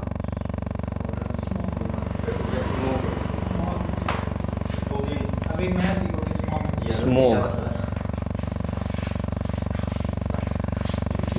तो पता है स्मॉक स्मॉक ही होता है। फॉग पानी गैस में लिक्विड मॉलिक्यूल्स होते हैं फॉग में। धुंध जो होता है जिसे कहते हैं धुंध के बादल छा गए। ये स्मोक स्मोक मतलब धुआँ। ठीक? ये है सॉलिड के केस में। फिर देखो अगर लिक्विड को सॉल्यूट ले लें तो फिर लिक्विड सॉलिड लिक्विड का लिक्विड के साथ और लिक्विड का गैस के साथ फिर कॉम्बिनेशन बनाया जा सकता है। तो जब लिक्विड हमारा सॉल्यूट है और फिर सॉलिड भी इस बार सॉल्वेंट हमारा सॉलिड हो जाएगा। सॉल्वेंट हमारा सॉलिड हो जाएगा। ये तो फिर सॉल्यूशन बनाना पड़ेगा। ठीक है? जैसे मान लो मिट्टी है सॉलिड उसके अंदर पानी बना दिए। पानी डाल दिए, है ना? या ये देखो ये स्पंज है ना? स्पंज सॉलिड होता है। पढ़ते हैं ना, स्पंज इज़ अ सॉलिड पानी डाल दो, इसके इंटरस्टिशियल पोर में पानी चला जाएगा। लिक्विड का सॉलिड के साथ। लिक्विड का लिक्विड दूध में पानी फेंट रहे थे अभी सब। लिक्विड को गैस में। यही है फॉग। सॉल्यूट लिक्विड होता है। फॉग। वही था। और देखो। अब गैस को सॉलिड में डाला जा सकता है। फिर गैस को लिक्विड में घोला जा सकता है और गैस को गैस के साथ मिलाया जा सकता है। गैस को सॉलिड में कैसे डिजोल्व किया जा सकता है? एक तो केस ये स्पंज का हो जाएगा। ठीक है? दूसरा, प्यूमिक स्टोन आते हैं कुछ। जो स्टोन पानी में तैरते हैं ना, उनके बीच में एयर मॉलिक्यूल्स के लिए गैप होता है बायोन्ड फोर्स उसके प्रोवाइड करते हैं। कैविटी होती है छोटी छोटी स्पेस की। जो राम जी पुल बनाए थे, पत्थर तैर रहा था। पोरस पत्थर कहते हैं उसको। पोरस पत्थर में बीच में छेद होता है, वहाँ पे बीच में ही जाके गैस भर जाती है। गैस को लिक्विड में कोका कोला पीते होगे लिक्विड होता है, उसके अंदर कार्बन डाइऑक्साइड गैस को हाई प्रेशर के कारण भर देते हैं। और गैस को गैस में एयर जो मिक्सचर है तो सॉल्यूशन ही हम लोग अलग अलग तरीके से बना सकते हैं। तो जो हमारा ये सॉल्वेंट का टर्म है देखो ये बार बार चेंज होता जा रहा है, नहीं? तो उसी टर्म में देखो यहाँ पे कभी सॉल्वेंट डाल दिए चेंज करने के लिए, और मोलैरिटी के समय में यहाँ पे पूरा का पूरा सॉल्यूशन डाल देते। और भी वॉल्यूम इन लीटर में लिखे थे तो वॉल्यूम मतलब लिक्विड में घोल रहे थे, उसको कहाँ घोल रहे थे? यहाँ मास केजी में लिखे हैं मतलब इसको सॉलिड के टर्म में मेजर कर रहे हैं। तभी तो मास केजी में आया होगा। सॉल्यूशन लिक्विड होगा। नहीं। दो चीज़ों को मिला दो। वो तुम्हारा मन, जो बना लिक्विड हमेशा थोड़ी बनता है। हमारा टूथपेस्ट भी तो सॉल्यूशन ही है। इन्हीं सबसे बनता है फिर सब। सॉलिड का सॉलिड में डालोगे एलॉय बन जाएगा। है ना? सॉलिड को लिक्विड में नॉर्मल सॉल्यूशन सॉलिड को गैस में डाले, ये एरोसोल जिसे कहते हैं। एरोसोल समझते हो? सेंट वेंट मारते हो, जाके सब मिक्स हो जाता है। या हमारा ये पॉल्यूटेंट जितने लिक्विड को सॉलिड में डालोगे, ये इमल्सन वगैरह बनाता है। इमल्सन का नाम सुने कभी? अभी आगे वाले चैप्टर में पढ़ाएँगे। ठीक है?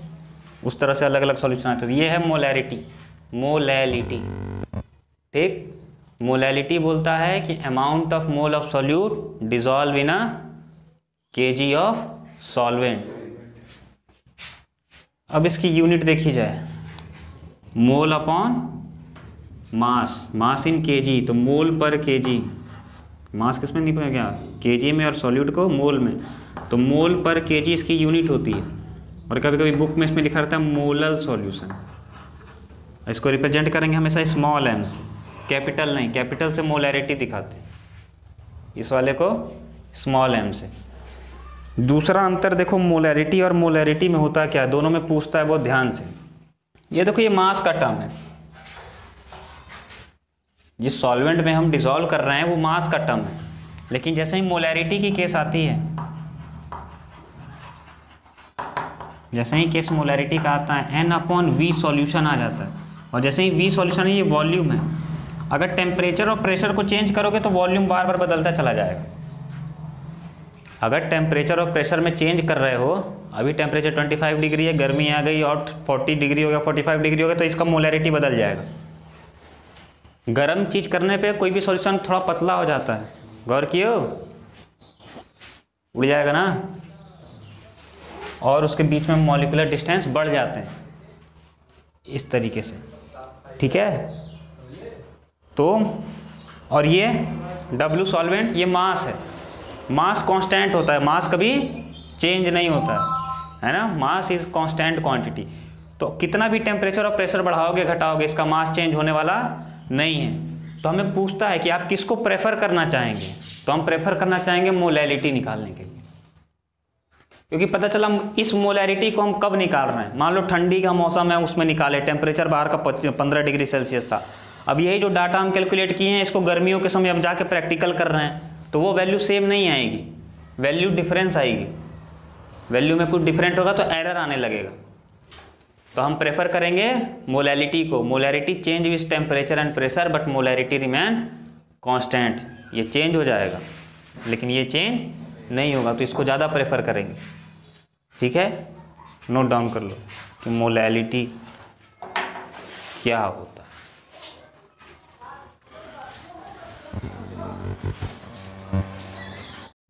सॉल्यूशन में केवल दो ही तो टर्म होते हैं, एक सॉल्यूट होता है, एक सॉल्वेंट होता है।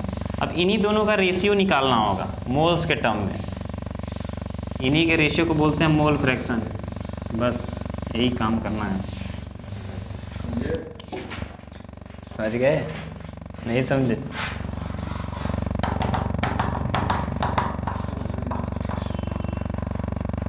क्यों ना आप सॉल्वेंट को भी मोल्स के टर्म में मेज़र किया जाए? और जो सॉल्यूट ले रहे हैं उसको भी मोल्स के टर्म में मेज़र करते हैं। है ना? क्या कर रहे थे अब तक? जितने भी कंसंट्रेशन हम पढ़े, सबको अलग अलग चीज़ में मेज़र कर रहे थे। अब देखो यहाँ पे ई आई बदल दिए सॉल्वेंट का यूनिट बदल दिए अब इन दोनों में रेशियो लेना पड़ेगा कि कितना मोल सॉल्यूट का डाले हैं तो कितना मोल सॉल्वेंट का डालें तो किसी सॉल्यूशन में मोल फ्रैक्शन निकालना रहता है। Third concentration of solute in terms of mole इसको बोलते हैं मोल फ्रैक्शन और किसी भी सॉल्यूशन में केवल दो ही टर्म है तो एक बार number of mole of solute निकाल लेंगे और दूसरी बार number of mole of solvent निकाल लेंगे। तो मोल फ्रैक्शन है क्या? मोल फ्रैक्शन को देखो इससे रिप्रेजेंट करते हैं। इसे बोलते हैं काई क्या पढ़ते हैं? C H I chi X मत लिख देना, थोड़ा बड़ा टेढ़ा वेढ़ा करके लिखना है इसे। या तो एक इसका ये डंडा बड़ा कर देना और दूसरा वाला इसे छोटा। ठीक है? तलवार देखियो? तलवार ऐसे निकलती है ऐसे। उसका ये पार्ट थोड़ा छोटा होता है, ये ऐसे। तलवार यहाँ से हैंडल पकड़ते हैं ना? कुछ इस टाइप से। काई। इतना बड़ा कॉपी में जगह तो होगा नहीं। Normally chi is equal to the mole fraction ठीक तो मोल फ्रैक्शन हम फ्रैक्शन केवल इंडिविजुअल चीज़ का ही निकाल सकते हैं, है ना? तो पहली बार कैलकुलेट करेंगे फ्रैक्शन सॉल्यूट के लिए, दूसरी बार फ्रैक्शन कैलकुलेट करेंगे सॉल्वेंट के लिए। तो यहाँ सॉल्यूट लिखते हैं। तो अगर मोल फ्रैक्शन ऑफ़ सॉल्यूट निकाल रहे हैं तो सबसे पहले लिखेंगे ऊपर मोल ऑफ़ सॉल्यूट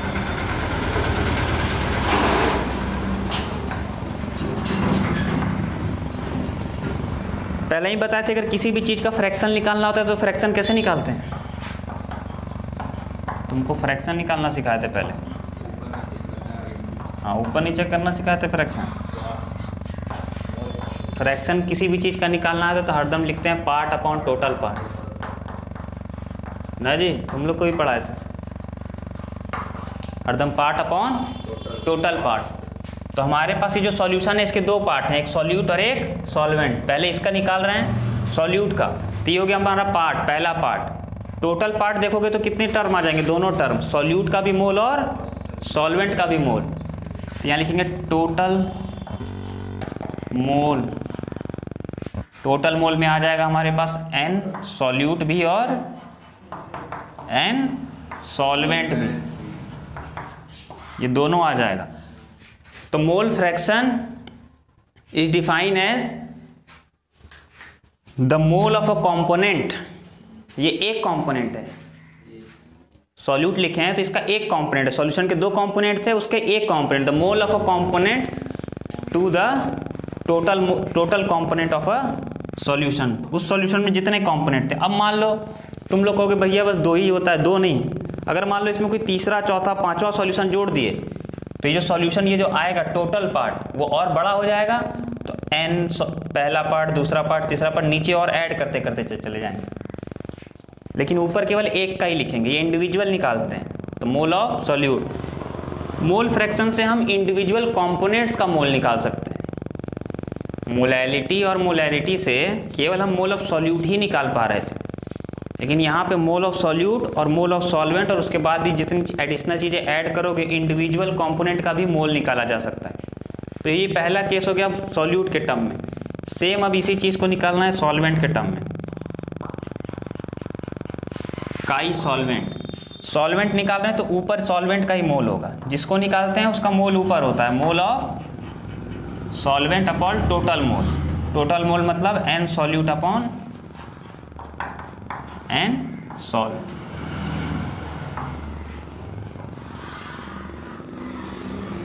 mole fraction लिखने के लिए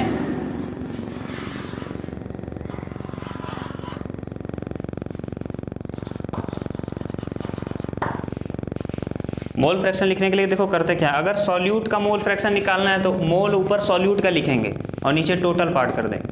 और सॉल्वेंट का निकालना है तो ऊपर सॉल्वेंट का और नीचे टोटल पार्ट कर देंगे। अगर सारे कंपोनेंटों को जोड़ दिया जाए किसी भी सॉल्यूशन के,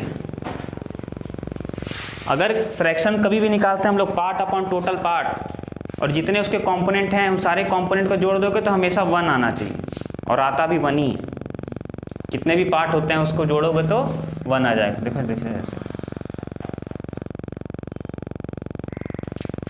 इसको मान लो दो पार्ट में डिवाइड कर देते हैं।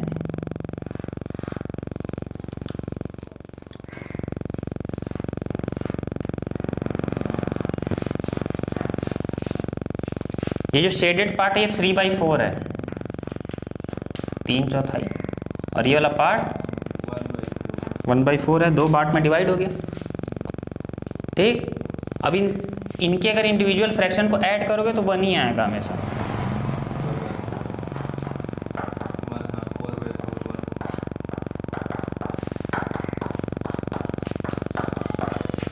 उसी तरह यहाँ भी होता है।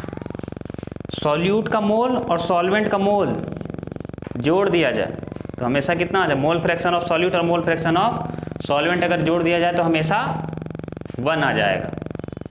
तो इसको लिख सकते हैं हम लोग दूसरे तरीके से कि chi solute plus chi solvent, इन दोनों की वैल्यू वन आएगी। अगर वन नहीं ला पा रहे हो तो आओ अब इसको कैलकुलेट करके देखते हैं पूरा अच्छे से। फ्रैक्शन के अगर इंडिविजुअल कंपोनेंट हम बांटे हैं किसी एक पार्ट के तो उसके सारे फ्रैक्शन को जोड़ोगे तो हमेशा तो यूनिटी आनी ही है। यूनिटी मतलब आना वन आना। देखो यहाँ पर, अगर काई ए और काई बी को ऐड करते हैं तो देखो क्या मिलता है। काई ए मतलब chi solute plus chi solvent देखो ये देखो। काई सॉल्यूट काई सॉल्यूट देखो ये था। Mole of solute upon mole of solute plus mole of solvent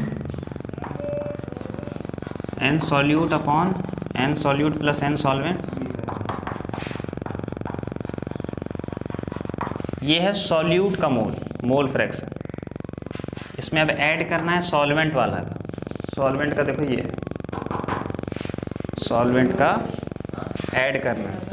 तो यहाँ लिखेंगे एन सॉल्वेंट यहाँ पर लिखेंगे एन सॉल्वेंट और टोटल जो होगा, वो होगा n solute plus n solvent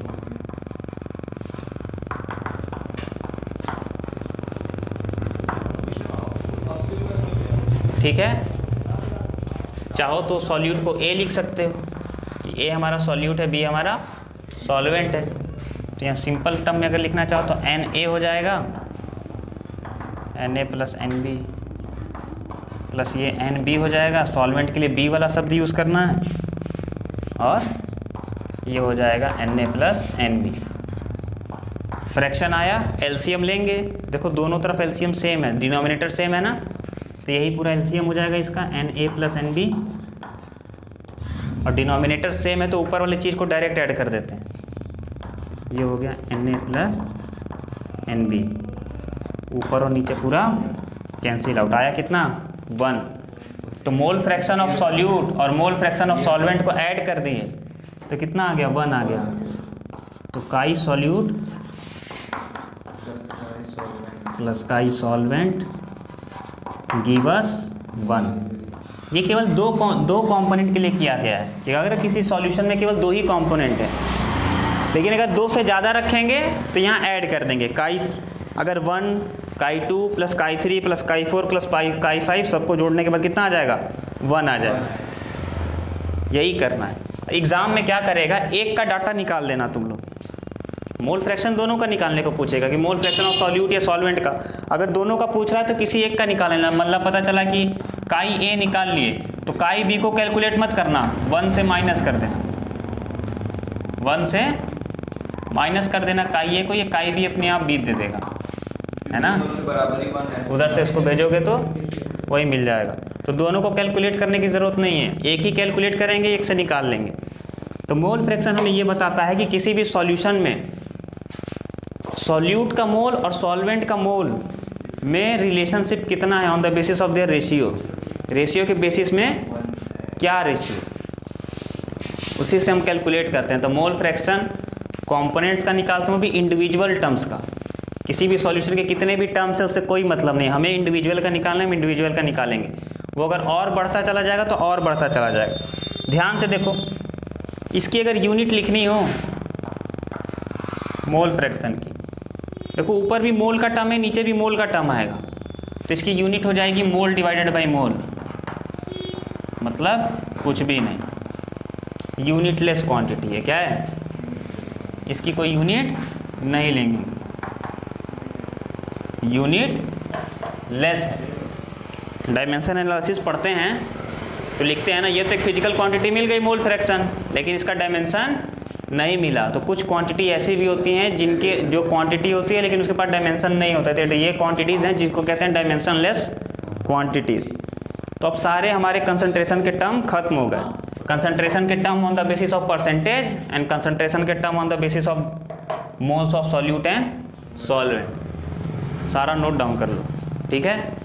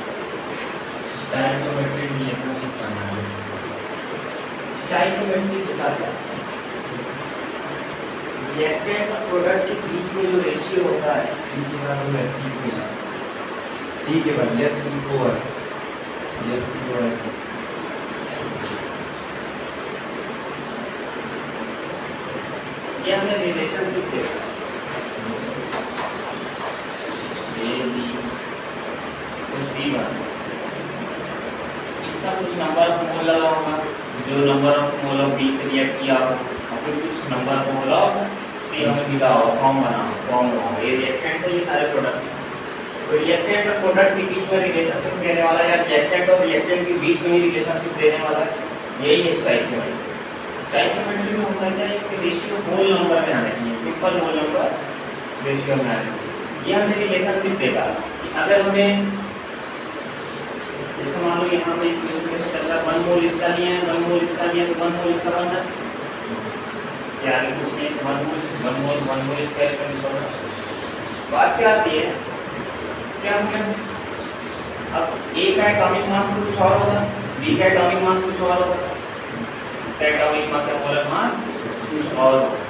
तो हमें कितना चाहिए? अगर मान लो एग्ज़ाम्पल देता हूँ। इसका टू ग्राम इसके फाइव ग्राम मिला है, ठीक है? सिक्स ग्राम ये बना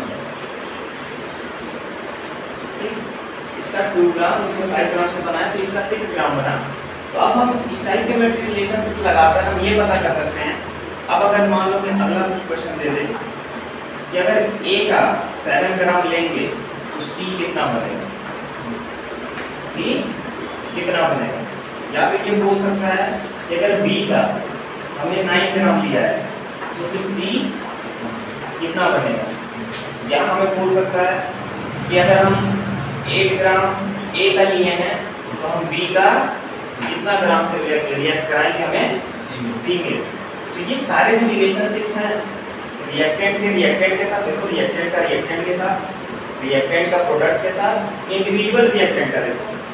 ये ए है ए का अकेले सी के साथ रिलेशनशिप बी है बी का अकेले सी के साथ रिलेशनशिप और इन दोनों का आपस में भी रिलेशनशिप ये सारे रिलेशनशिप हमें कौन देता है? स्टाइकियोमेट्री अब देखो हम ध्यान से, मोल को तो हम लोग तीन तरह से निकाल सकते हैं। मास नंबर और वॉल्यूम से। नंबर मास एंड वॉल्यूम इन तीनों टर्म में हम मोल को निकाल सकते हैं। मोल इन तीनों में कन्वर्ट है। हम तो मोल लेकर चल रहे हैं। तो हमारे पास तीन रिलेशनशिप बनेंगे। अगर हम कॉम्बिनेशन देखें तो हमारे पास रिलेशनशिप कैसे बन सकता है। मास का नंबर के साथ बन सकता है। इसे बोलेंगे mass number relationship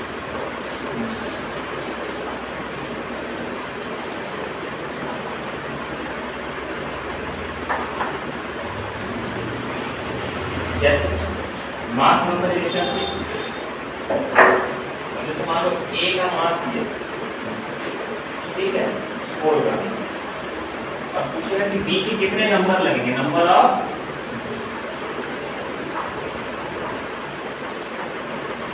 number of b कितना लगेगा? तो हम क्या लगाएँगे? मास इसका मास दिया इसका नंबर पूछ रहा है। तो मास नंबर रिलेशनशिप इसी तरीके से देखेंगे। अब मास का नंबर के साथ निकालिए। मास का वॉल्यूम के साथ। मास वॉल्यूम रिलेशनशिप इसी का मास दे देगा और इसका वॉल्यूम दे देगा। कितना वॉल्यूम ऑफ़ बी हम रिएक्ट कराएँगे या तीसरा हो अब अब मास का मास के साथ भी रिलेशनशिप हो सकता है। निकाल सकते हैं मास का मास के साथ रिलेशन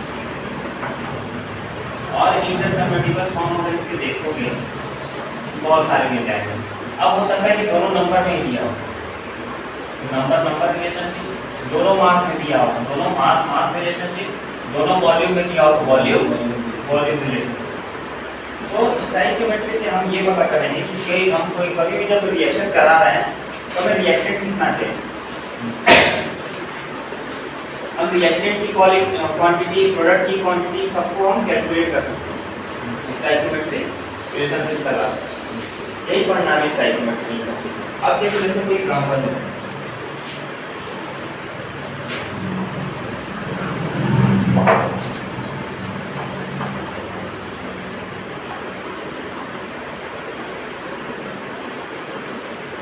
अगर N2 प्लस H2 मिलकर अमोनिया बनाता है ठीक है nitrogen gas plus hydrogen gas में अमोनिया है तो सबसे पहले अगर इस तरह से रिलेशन दिया होगा इक्वेशन दिया होगा। तो हमें इसको बैलेंस करना होगा। हमेशा हम पहले इक्वेशन को बैलेंस करेंगे। तो इसको बैलेंस करोगे तो कितना है। यहाँ दो नाइट्रोजन है, यहाँ वन है।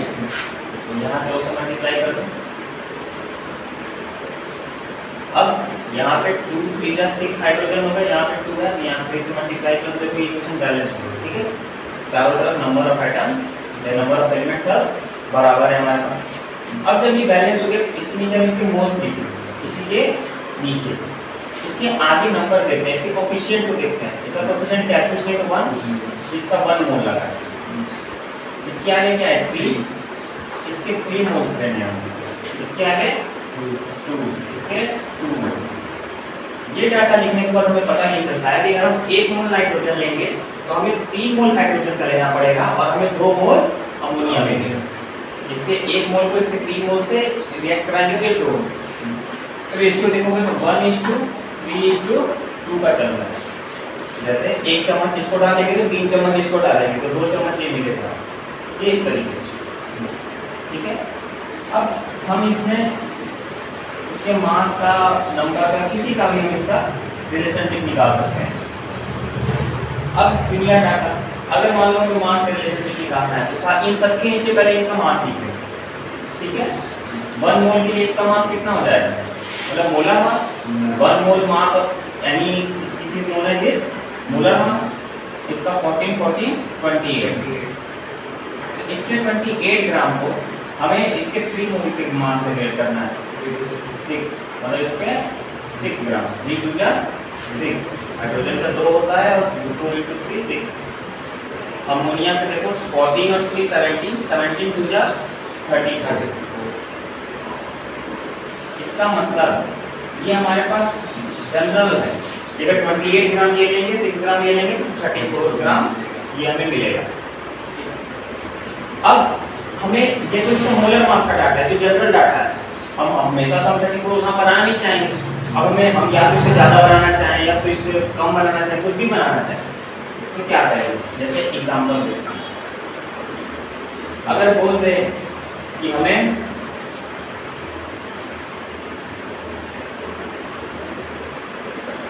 मान लो अगर ये कहे कि हमें 50 ग्राम बनाना है, ठीक है? तो हमें किसी भी तरह 50 ग्राम NH3 चाहिए। है तुम्हें 50 ग्राम NH3 अब हमें बस डाटा दिया है कि प्रोडक्ट हमें 50 ग्राम चाहिए। अब हमें कितना रिएक्टेंट ये तो हमें पता नहीं है। तो हम धीरे धीरे इस रिलेशनशिप को निकाल के हम सारे रिएक्टेंट की वैल्यू पता करेंगे कि हम नाइट्रोजन कितने ग्राम लें और कितने ग्राम हाइड्रोजन सब उसको रिएक्ट कराएँ तो हमें एग्जैक्ट 50 ग्राम अमोनिया मिल जाए। तो सबसे पहले देखो फॉर नाइट्रोजन पहले वाले रिएक्टेंट जनरल केस में क्या चल रहा है यहाँ पे? कि अगर 28 ग्राम हम नाइट्रोजन लेते हैं हमें कितना मिल रहा है? 34 ग्राम। NH3 मिल रहा है। इसको और पलट के लिख सकते हैं। इसको आगे लिखो। कि 34 ग्राम NH3 को बनाने के लिए 28 ग्राम। जिस चीज़ को निकालते हैं, उसे राइट साइड ले जाते हैं। ये अननोन है ना? नाइट्रोजन कितना निकालना नहीं पता। उसको उस साइड कर दो। अच्छे से देंगे इसका मतलब 1 ग्राम NH3 के लिए 28 अपॉन 34 ग्राम N2 लगेगा यूनिटरी मेथड ये नीचे चला जाएगा। लेकिन हमें हमें निकालना कितना है रियल हमें अमोनिया 50 ग्राम चाहिए। वन ग्राम के लिए कितना लग रहा है तो 50 ग्राम के लिए। इसी को 50 से मल्टीप्लाई कर देंगे तो हमें कितना नाइट्रोजन लगाना पड़ेगा? इसे कैलकुलेट करो कितना? आ रहा टू कटेगा 14 ग्राम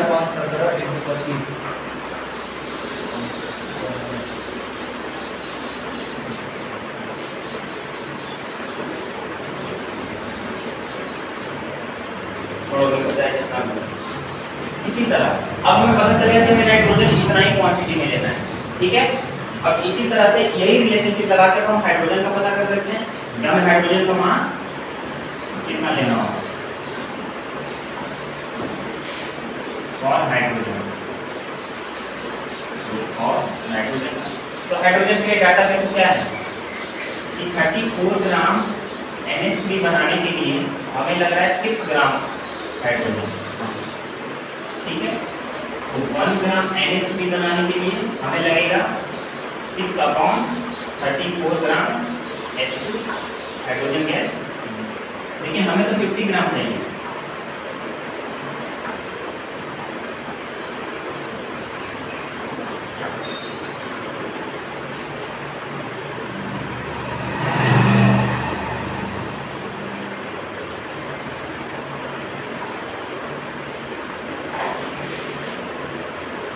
कैलकुलेट कर लेते हैं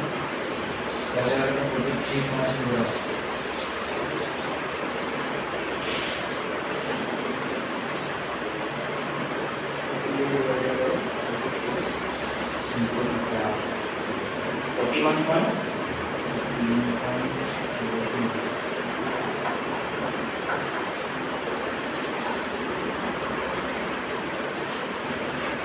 और क्या है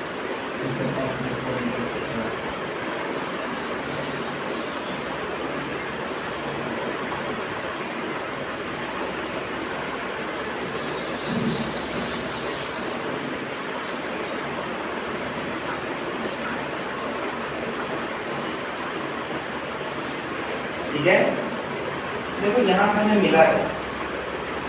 हमें पता चल गया कि अगर हमें अब 50 ग्राम बनाना है अमोनिया तो हमें और कोई डाटा नहीं था। रिएक्टेंट का हमारे पास कोई भी डाटा अभी नहीं था। बस हमारे पास था कि हमें बस इतना मेक करना है। तो हम ये जानते हैं कि इसका रिएक्शन ये होगा। इसका रिएक्शन लिखेंगे, इसके मोल का इस तरह से डाटा लिखेंगे मोलर मास में। इसके इतने ग्राम से इतने ग्राम मिलेंगे तो जनरल डाटा है, एक मोल की। लेकिन हमें तो कुछ और दिया हुआ है। 50 ग्राम के लिए तो 50 ग्राम के लिए निकालने के पहले रिएक्टेंट था। इतने के लिए इतना चाहिए तो इतने के लिए कितना कितना चाहिए। तो हमें पता चल गया कि हमारे पास नाइट्रोजन 41.17 ग्राम के आसपास लगेगा नाइट्रोजन और हाइड्रोजन कितना लगेगा? तो 8.86 ग्राम के। आसपास इन दोनों को लगभग लगभग जोड़ोगे तो देखो दोनों 50 के आसपास आ जाएगा। Law of conservation of mass total mass of reactant is equal to total mass of product देखो। ये 28 और 6 जनरल केस में भी अगर देखें, ये दोनों को जोड़ोगे तो 34 हो जाएगा। इज़ इक्वल टू 32 तो रिएक्टेंट का मास इधर वाले का पूरा मास उधर वाले के बराबर है, और यहाँ भी देखो वही law of conservation of mass follow हो रहा है। तो यही पता चलेगा। अभी हमें बस सी निकालने को बोल दिया था, लेकिन ए और बी का डाटा बिल्कुल भी नहीं था हमारे ए और बी का डाटा बिल्कुल भी नहीं था तो हमने ए और बी का डाटा वहाँ पे निकाल लिया इस तरह से क्या हो सकता है? हम स्टाइक्योमेट्री रिलेशनशिप लगाकर इंडिविजुअली निकाल सकते हैं। अगर हम जनरल इक्वेशन करते तो हमें इन दोनों के डाटा को साथ लेकर चलना होता लेकिन हम इंडिविजुअली इसका डाटा भी निकाल सकते हैं इंडिविजुअली इसका डाटा भी निकाल सकते हैं। हम केवल एक रिएक्टेंट के डाटा से भी पूरा कैलकुलेशन कर सकते हैं कि हाँ इतना ही ग्राम में बनेगा। ये था मास मास रिलेशनशिप इसमें केवल हमने मास का टर्म लिया। इसी तरह वॉल्यूम के टर्म दे सकते हैं नंबर्स के टर्म दे सकते हैं, सबके अलग अलग टर्म दे सकते हैं। ये मास मास रिलेशनशिप का एग्जांपल हो गया। अब हम मास नंबर रिलेशनशिप देखते हैं सेम एग्जांपल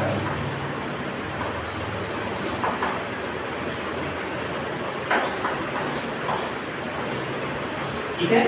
अब देखो मास का नंबर के साथ relationship same same example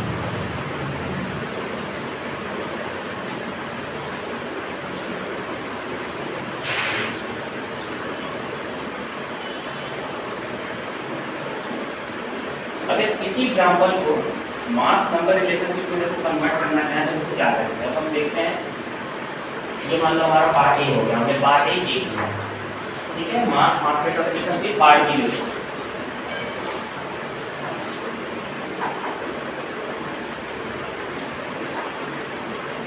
mass number relationship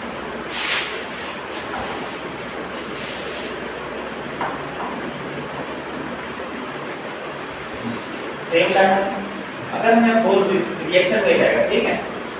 अगर हमें बोले क्वेश्चन दे, कि how many molecules of hydrogen required to form इतना ग्राम ऑफ़ अमोनिया ठीक है? ऐसे लिखते हैं कि how many H2 molecules required for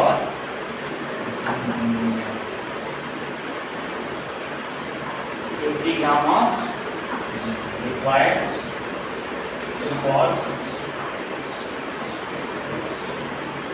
ये हमारा क्वेश्चन हो गया। फिफ्टी ग्राम अमोनिया में चाहिए, लेकिन कितने नंबर ऑफ़ मॉलिक्यूल होने चाहिए हमारे पास? हाइड्रोजन ठीक है?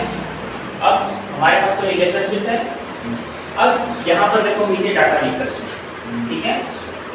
इसका वन मोल मतलब इसके एवोगैड्रो नंबर ऑफ़ अमोनिया और इसके थ्री इंटू एवोगैड्रो नंबर उसके बनाना है? One Avogadro number? अगर इसका वन एवोगैड्रो नंबर लेते हैं हम। नाइट्रोजन का मतलब six point zero two two power twenty three molecule इसके। इसके हमें थ्री लेने पड़े। थ्री एन इसका थ्री है और इसका कितना बनेगा? टू बनेगा। ये टू एन बनेगा। देखो टू से मल्टीप्लाई किया टू एन तो हमें वहाँ से डाटा तो क्लियर है। अगर हम थ्री एन में मॉलिक्यूल्स लेते हैं किसके? H2 के। तो हमें कितना मिलेगा? हमें नंबर का मास के साथ रिलेशनशिप चाहिए। तो ये तो नंबर हो गया और नंबर के बाद हमने मास कहाँ लिखा हुआ? ये देखो थर्टी फोर लिखा हुआ। ये है ना? तो हम यहाँ लिखेंगे कि हमसे हमें इससे थर्टी फोर ग्राम अमोनिया मिल रहा है। अगर इतने मॉलिक्यूल्स हो रहे हैं तो हमें कितना मिल रहा है? ठीक है? इसको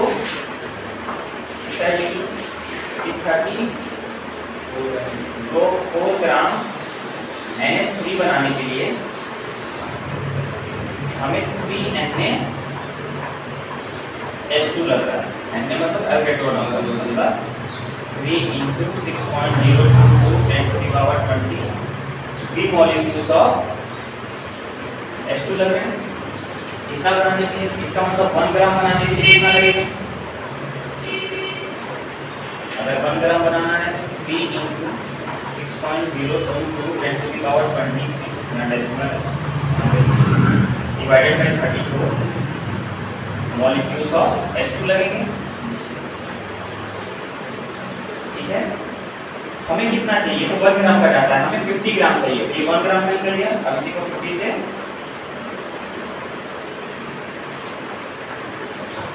fifty gram n h three बनाने के लिए हमें लगेगा three into six point zero two two ten to power twenty military matter से सॉल्व करना divided by thirty four into fifty ये वन का डाटा था वन के बाद फिफ्टी से मल्टीप्लाई कर देती है फिफ्टी ग्राम का डाटा होगा अब जो कैलकुलेशन आएगी उतने नंबर आप हमारे क्या लगेंगे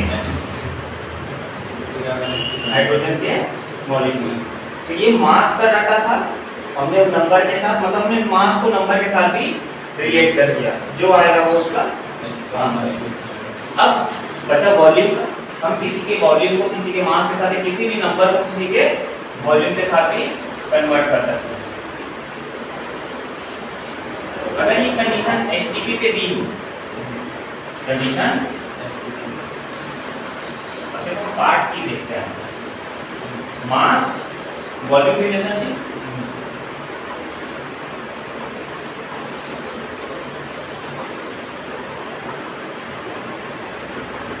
reaction same रहेगा हमारे पास वही है। से।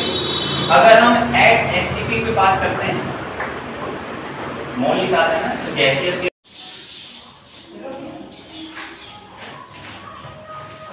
देखो। अब लीटर वॉल्यूम का मास के साथ रिलेशनशिप निकालना है। तो वॉल्यूम देखो।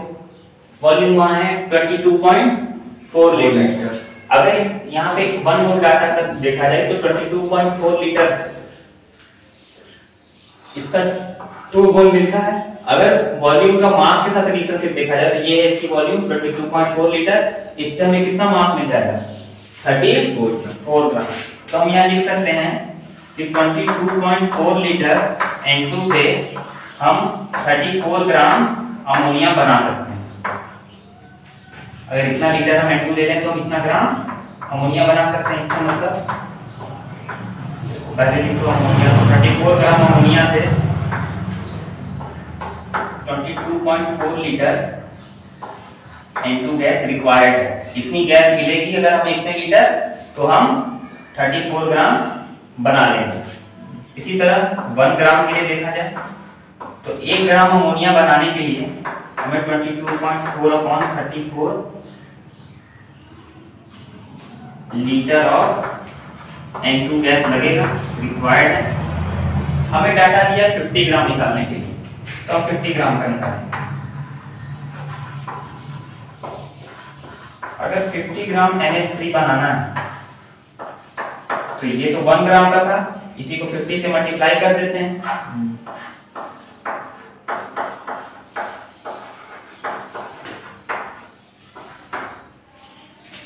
कितना आएगा वो? हमारा आंसर कैलकुलेट करके देख लेते हैं।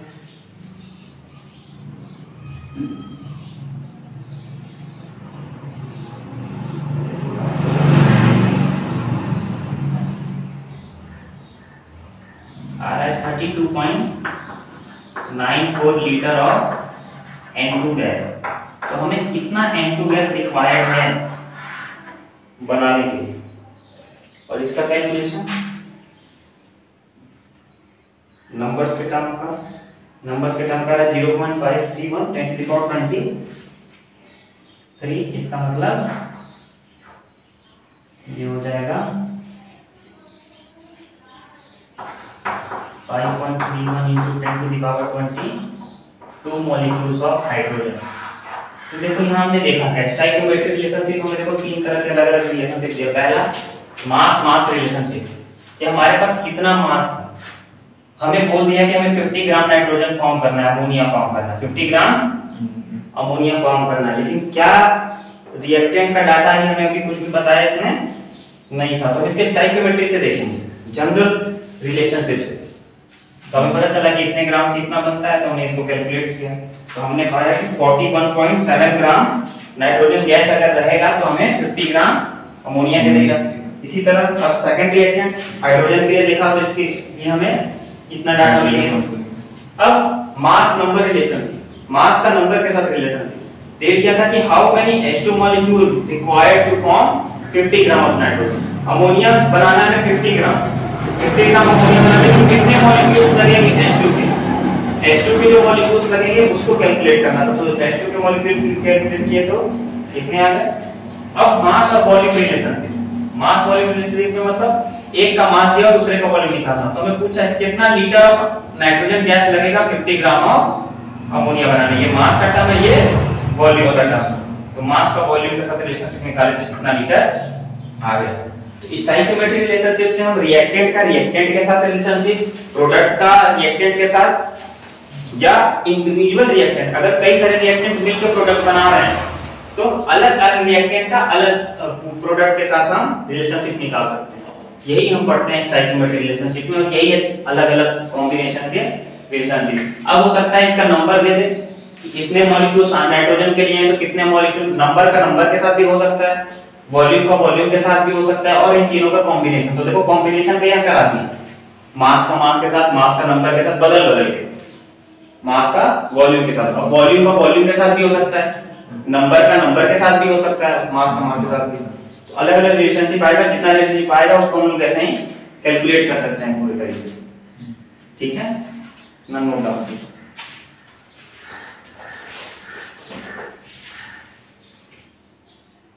अब आगे पीछे काट सकते हैं? इसमें कोई दिक्कत नहीं मुझे start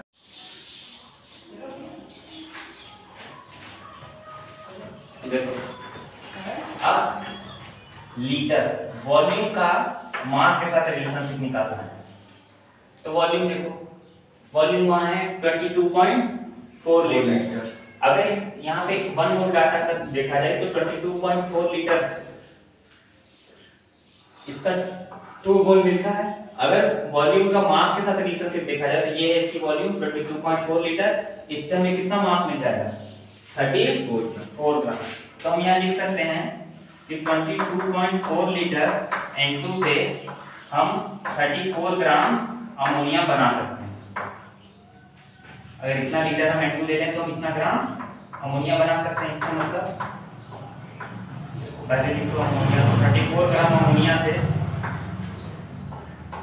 22.4 litre N2 gas required है। इतनी गैस मिलेगी अगर हमें इतने लीटर तो हम 34 ग्राम बना लेंगे। इसी तरह 1 ग्राम के लिए देखा जाए तो एक ग्राम अमोनिया बनाने के लिए हमें 22.4 upon 34 litre of N2 gas लगेगा रिक्वायर्ड है। हमें डाटा दिया 50 ग्राम निकालने के लिए तो हम 50 ग्राम का निकालें अगर 50 ग्राम NH3 बनाना है तो ये तो वन ग्राम का था, इसी को 50 से मल्टीप्लाई कर देते हैं।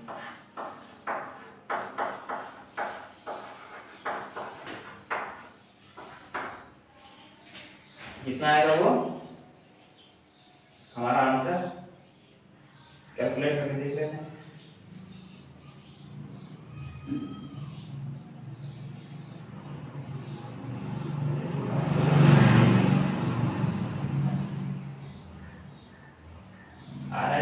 92.94 लीटर ऑफ़ N2 गैस तो हमें कितना N2 गैस रिक्वायर्ड है बनाने के लिए? और इसका कैलकुलेशन नंबर्स के टर्म का? नंबर्स के टर्म का है zero point five three one ten three four twenty three इसका मतलब ये हो जाएगा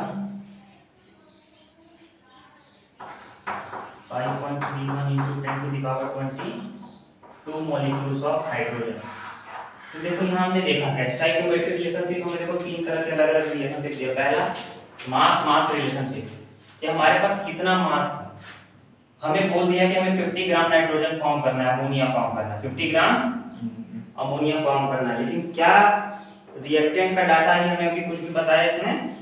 नहीं था। तो इसके से देखेंगे। जनरल रिलेशनशिप से तो हमें पता चला कि इतने ग्राम से इतना बनता है तो हमने इसको कैलकुलेट किया। तो हमने पाया कि 41.7 ग्राम नाइट्रोजन गैस अगर रहेगा तो हमें 50 ग्राम अमोनिया दे देगा।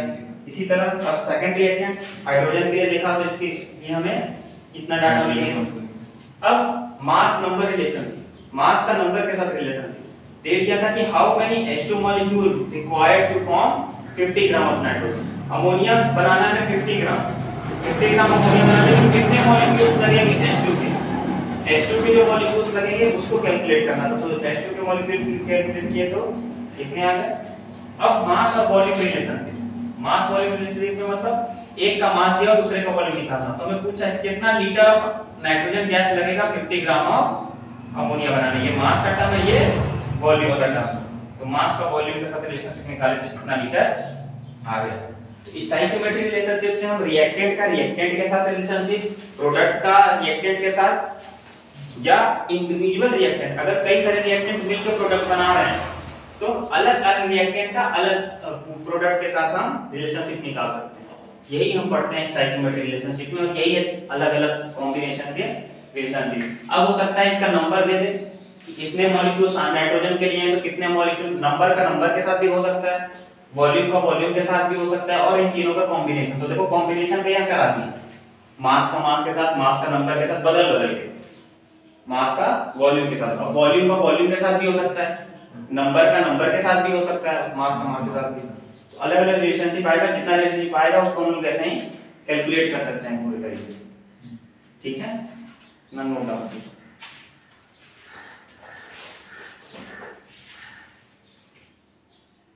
अब आगे पीछे काट सकते इसमें कोई दिक्कत नहीं मुझे स्टार्ट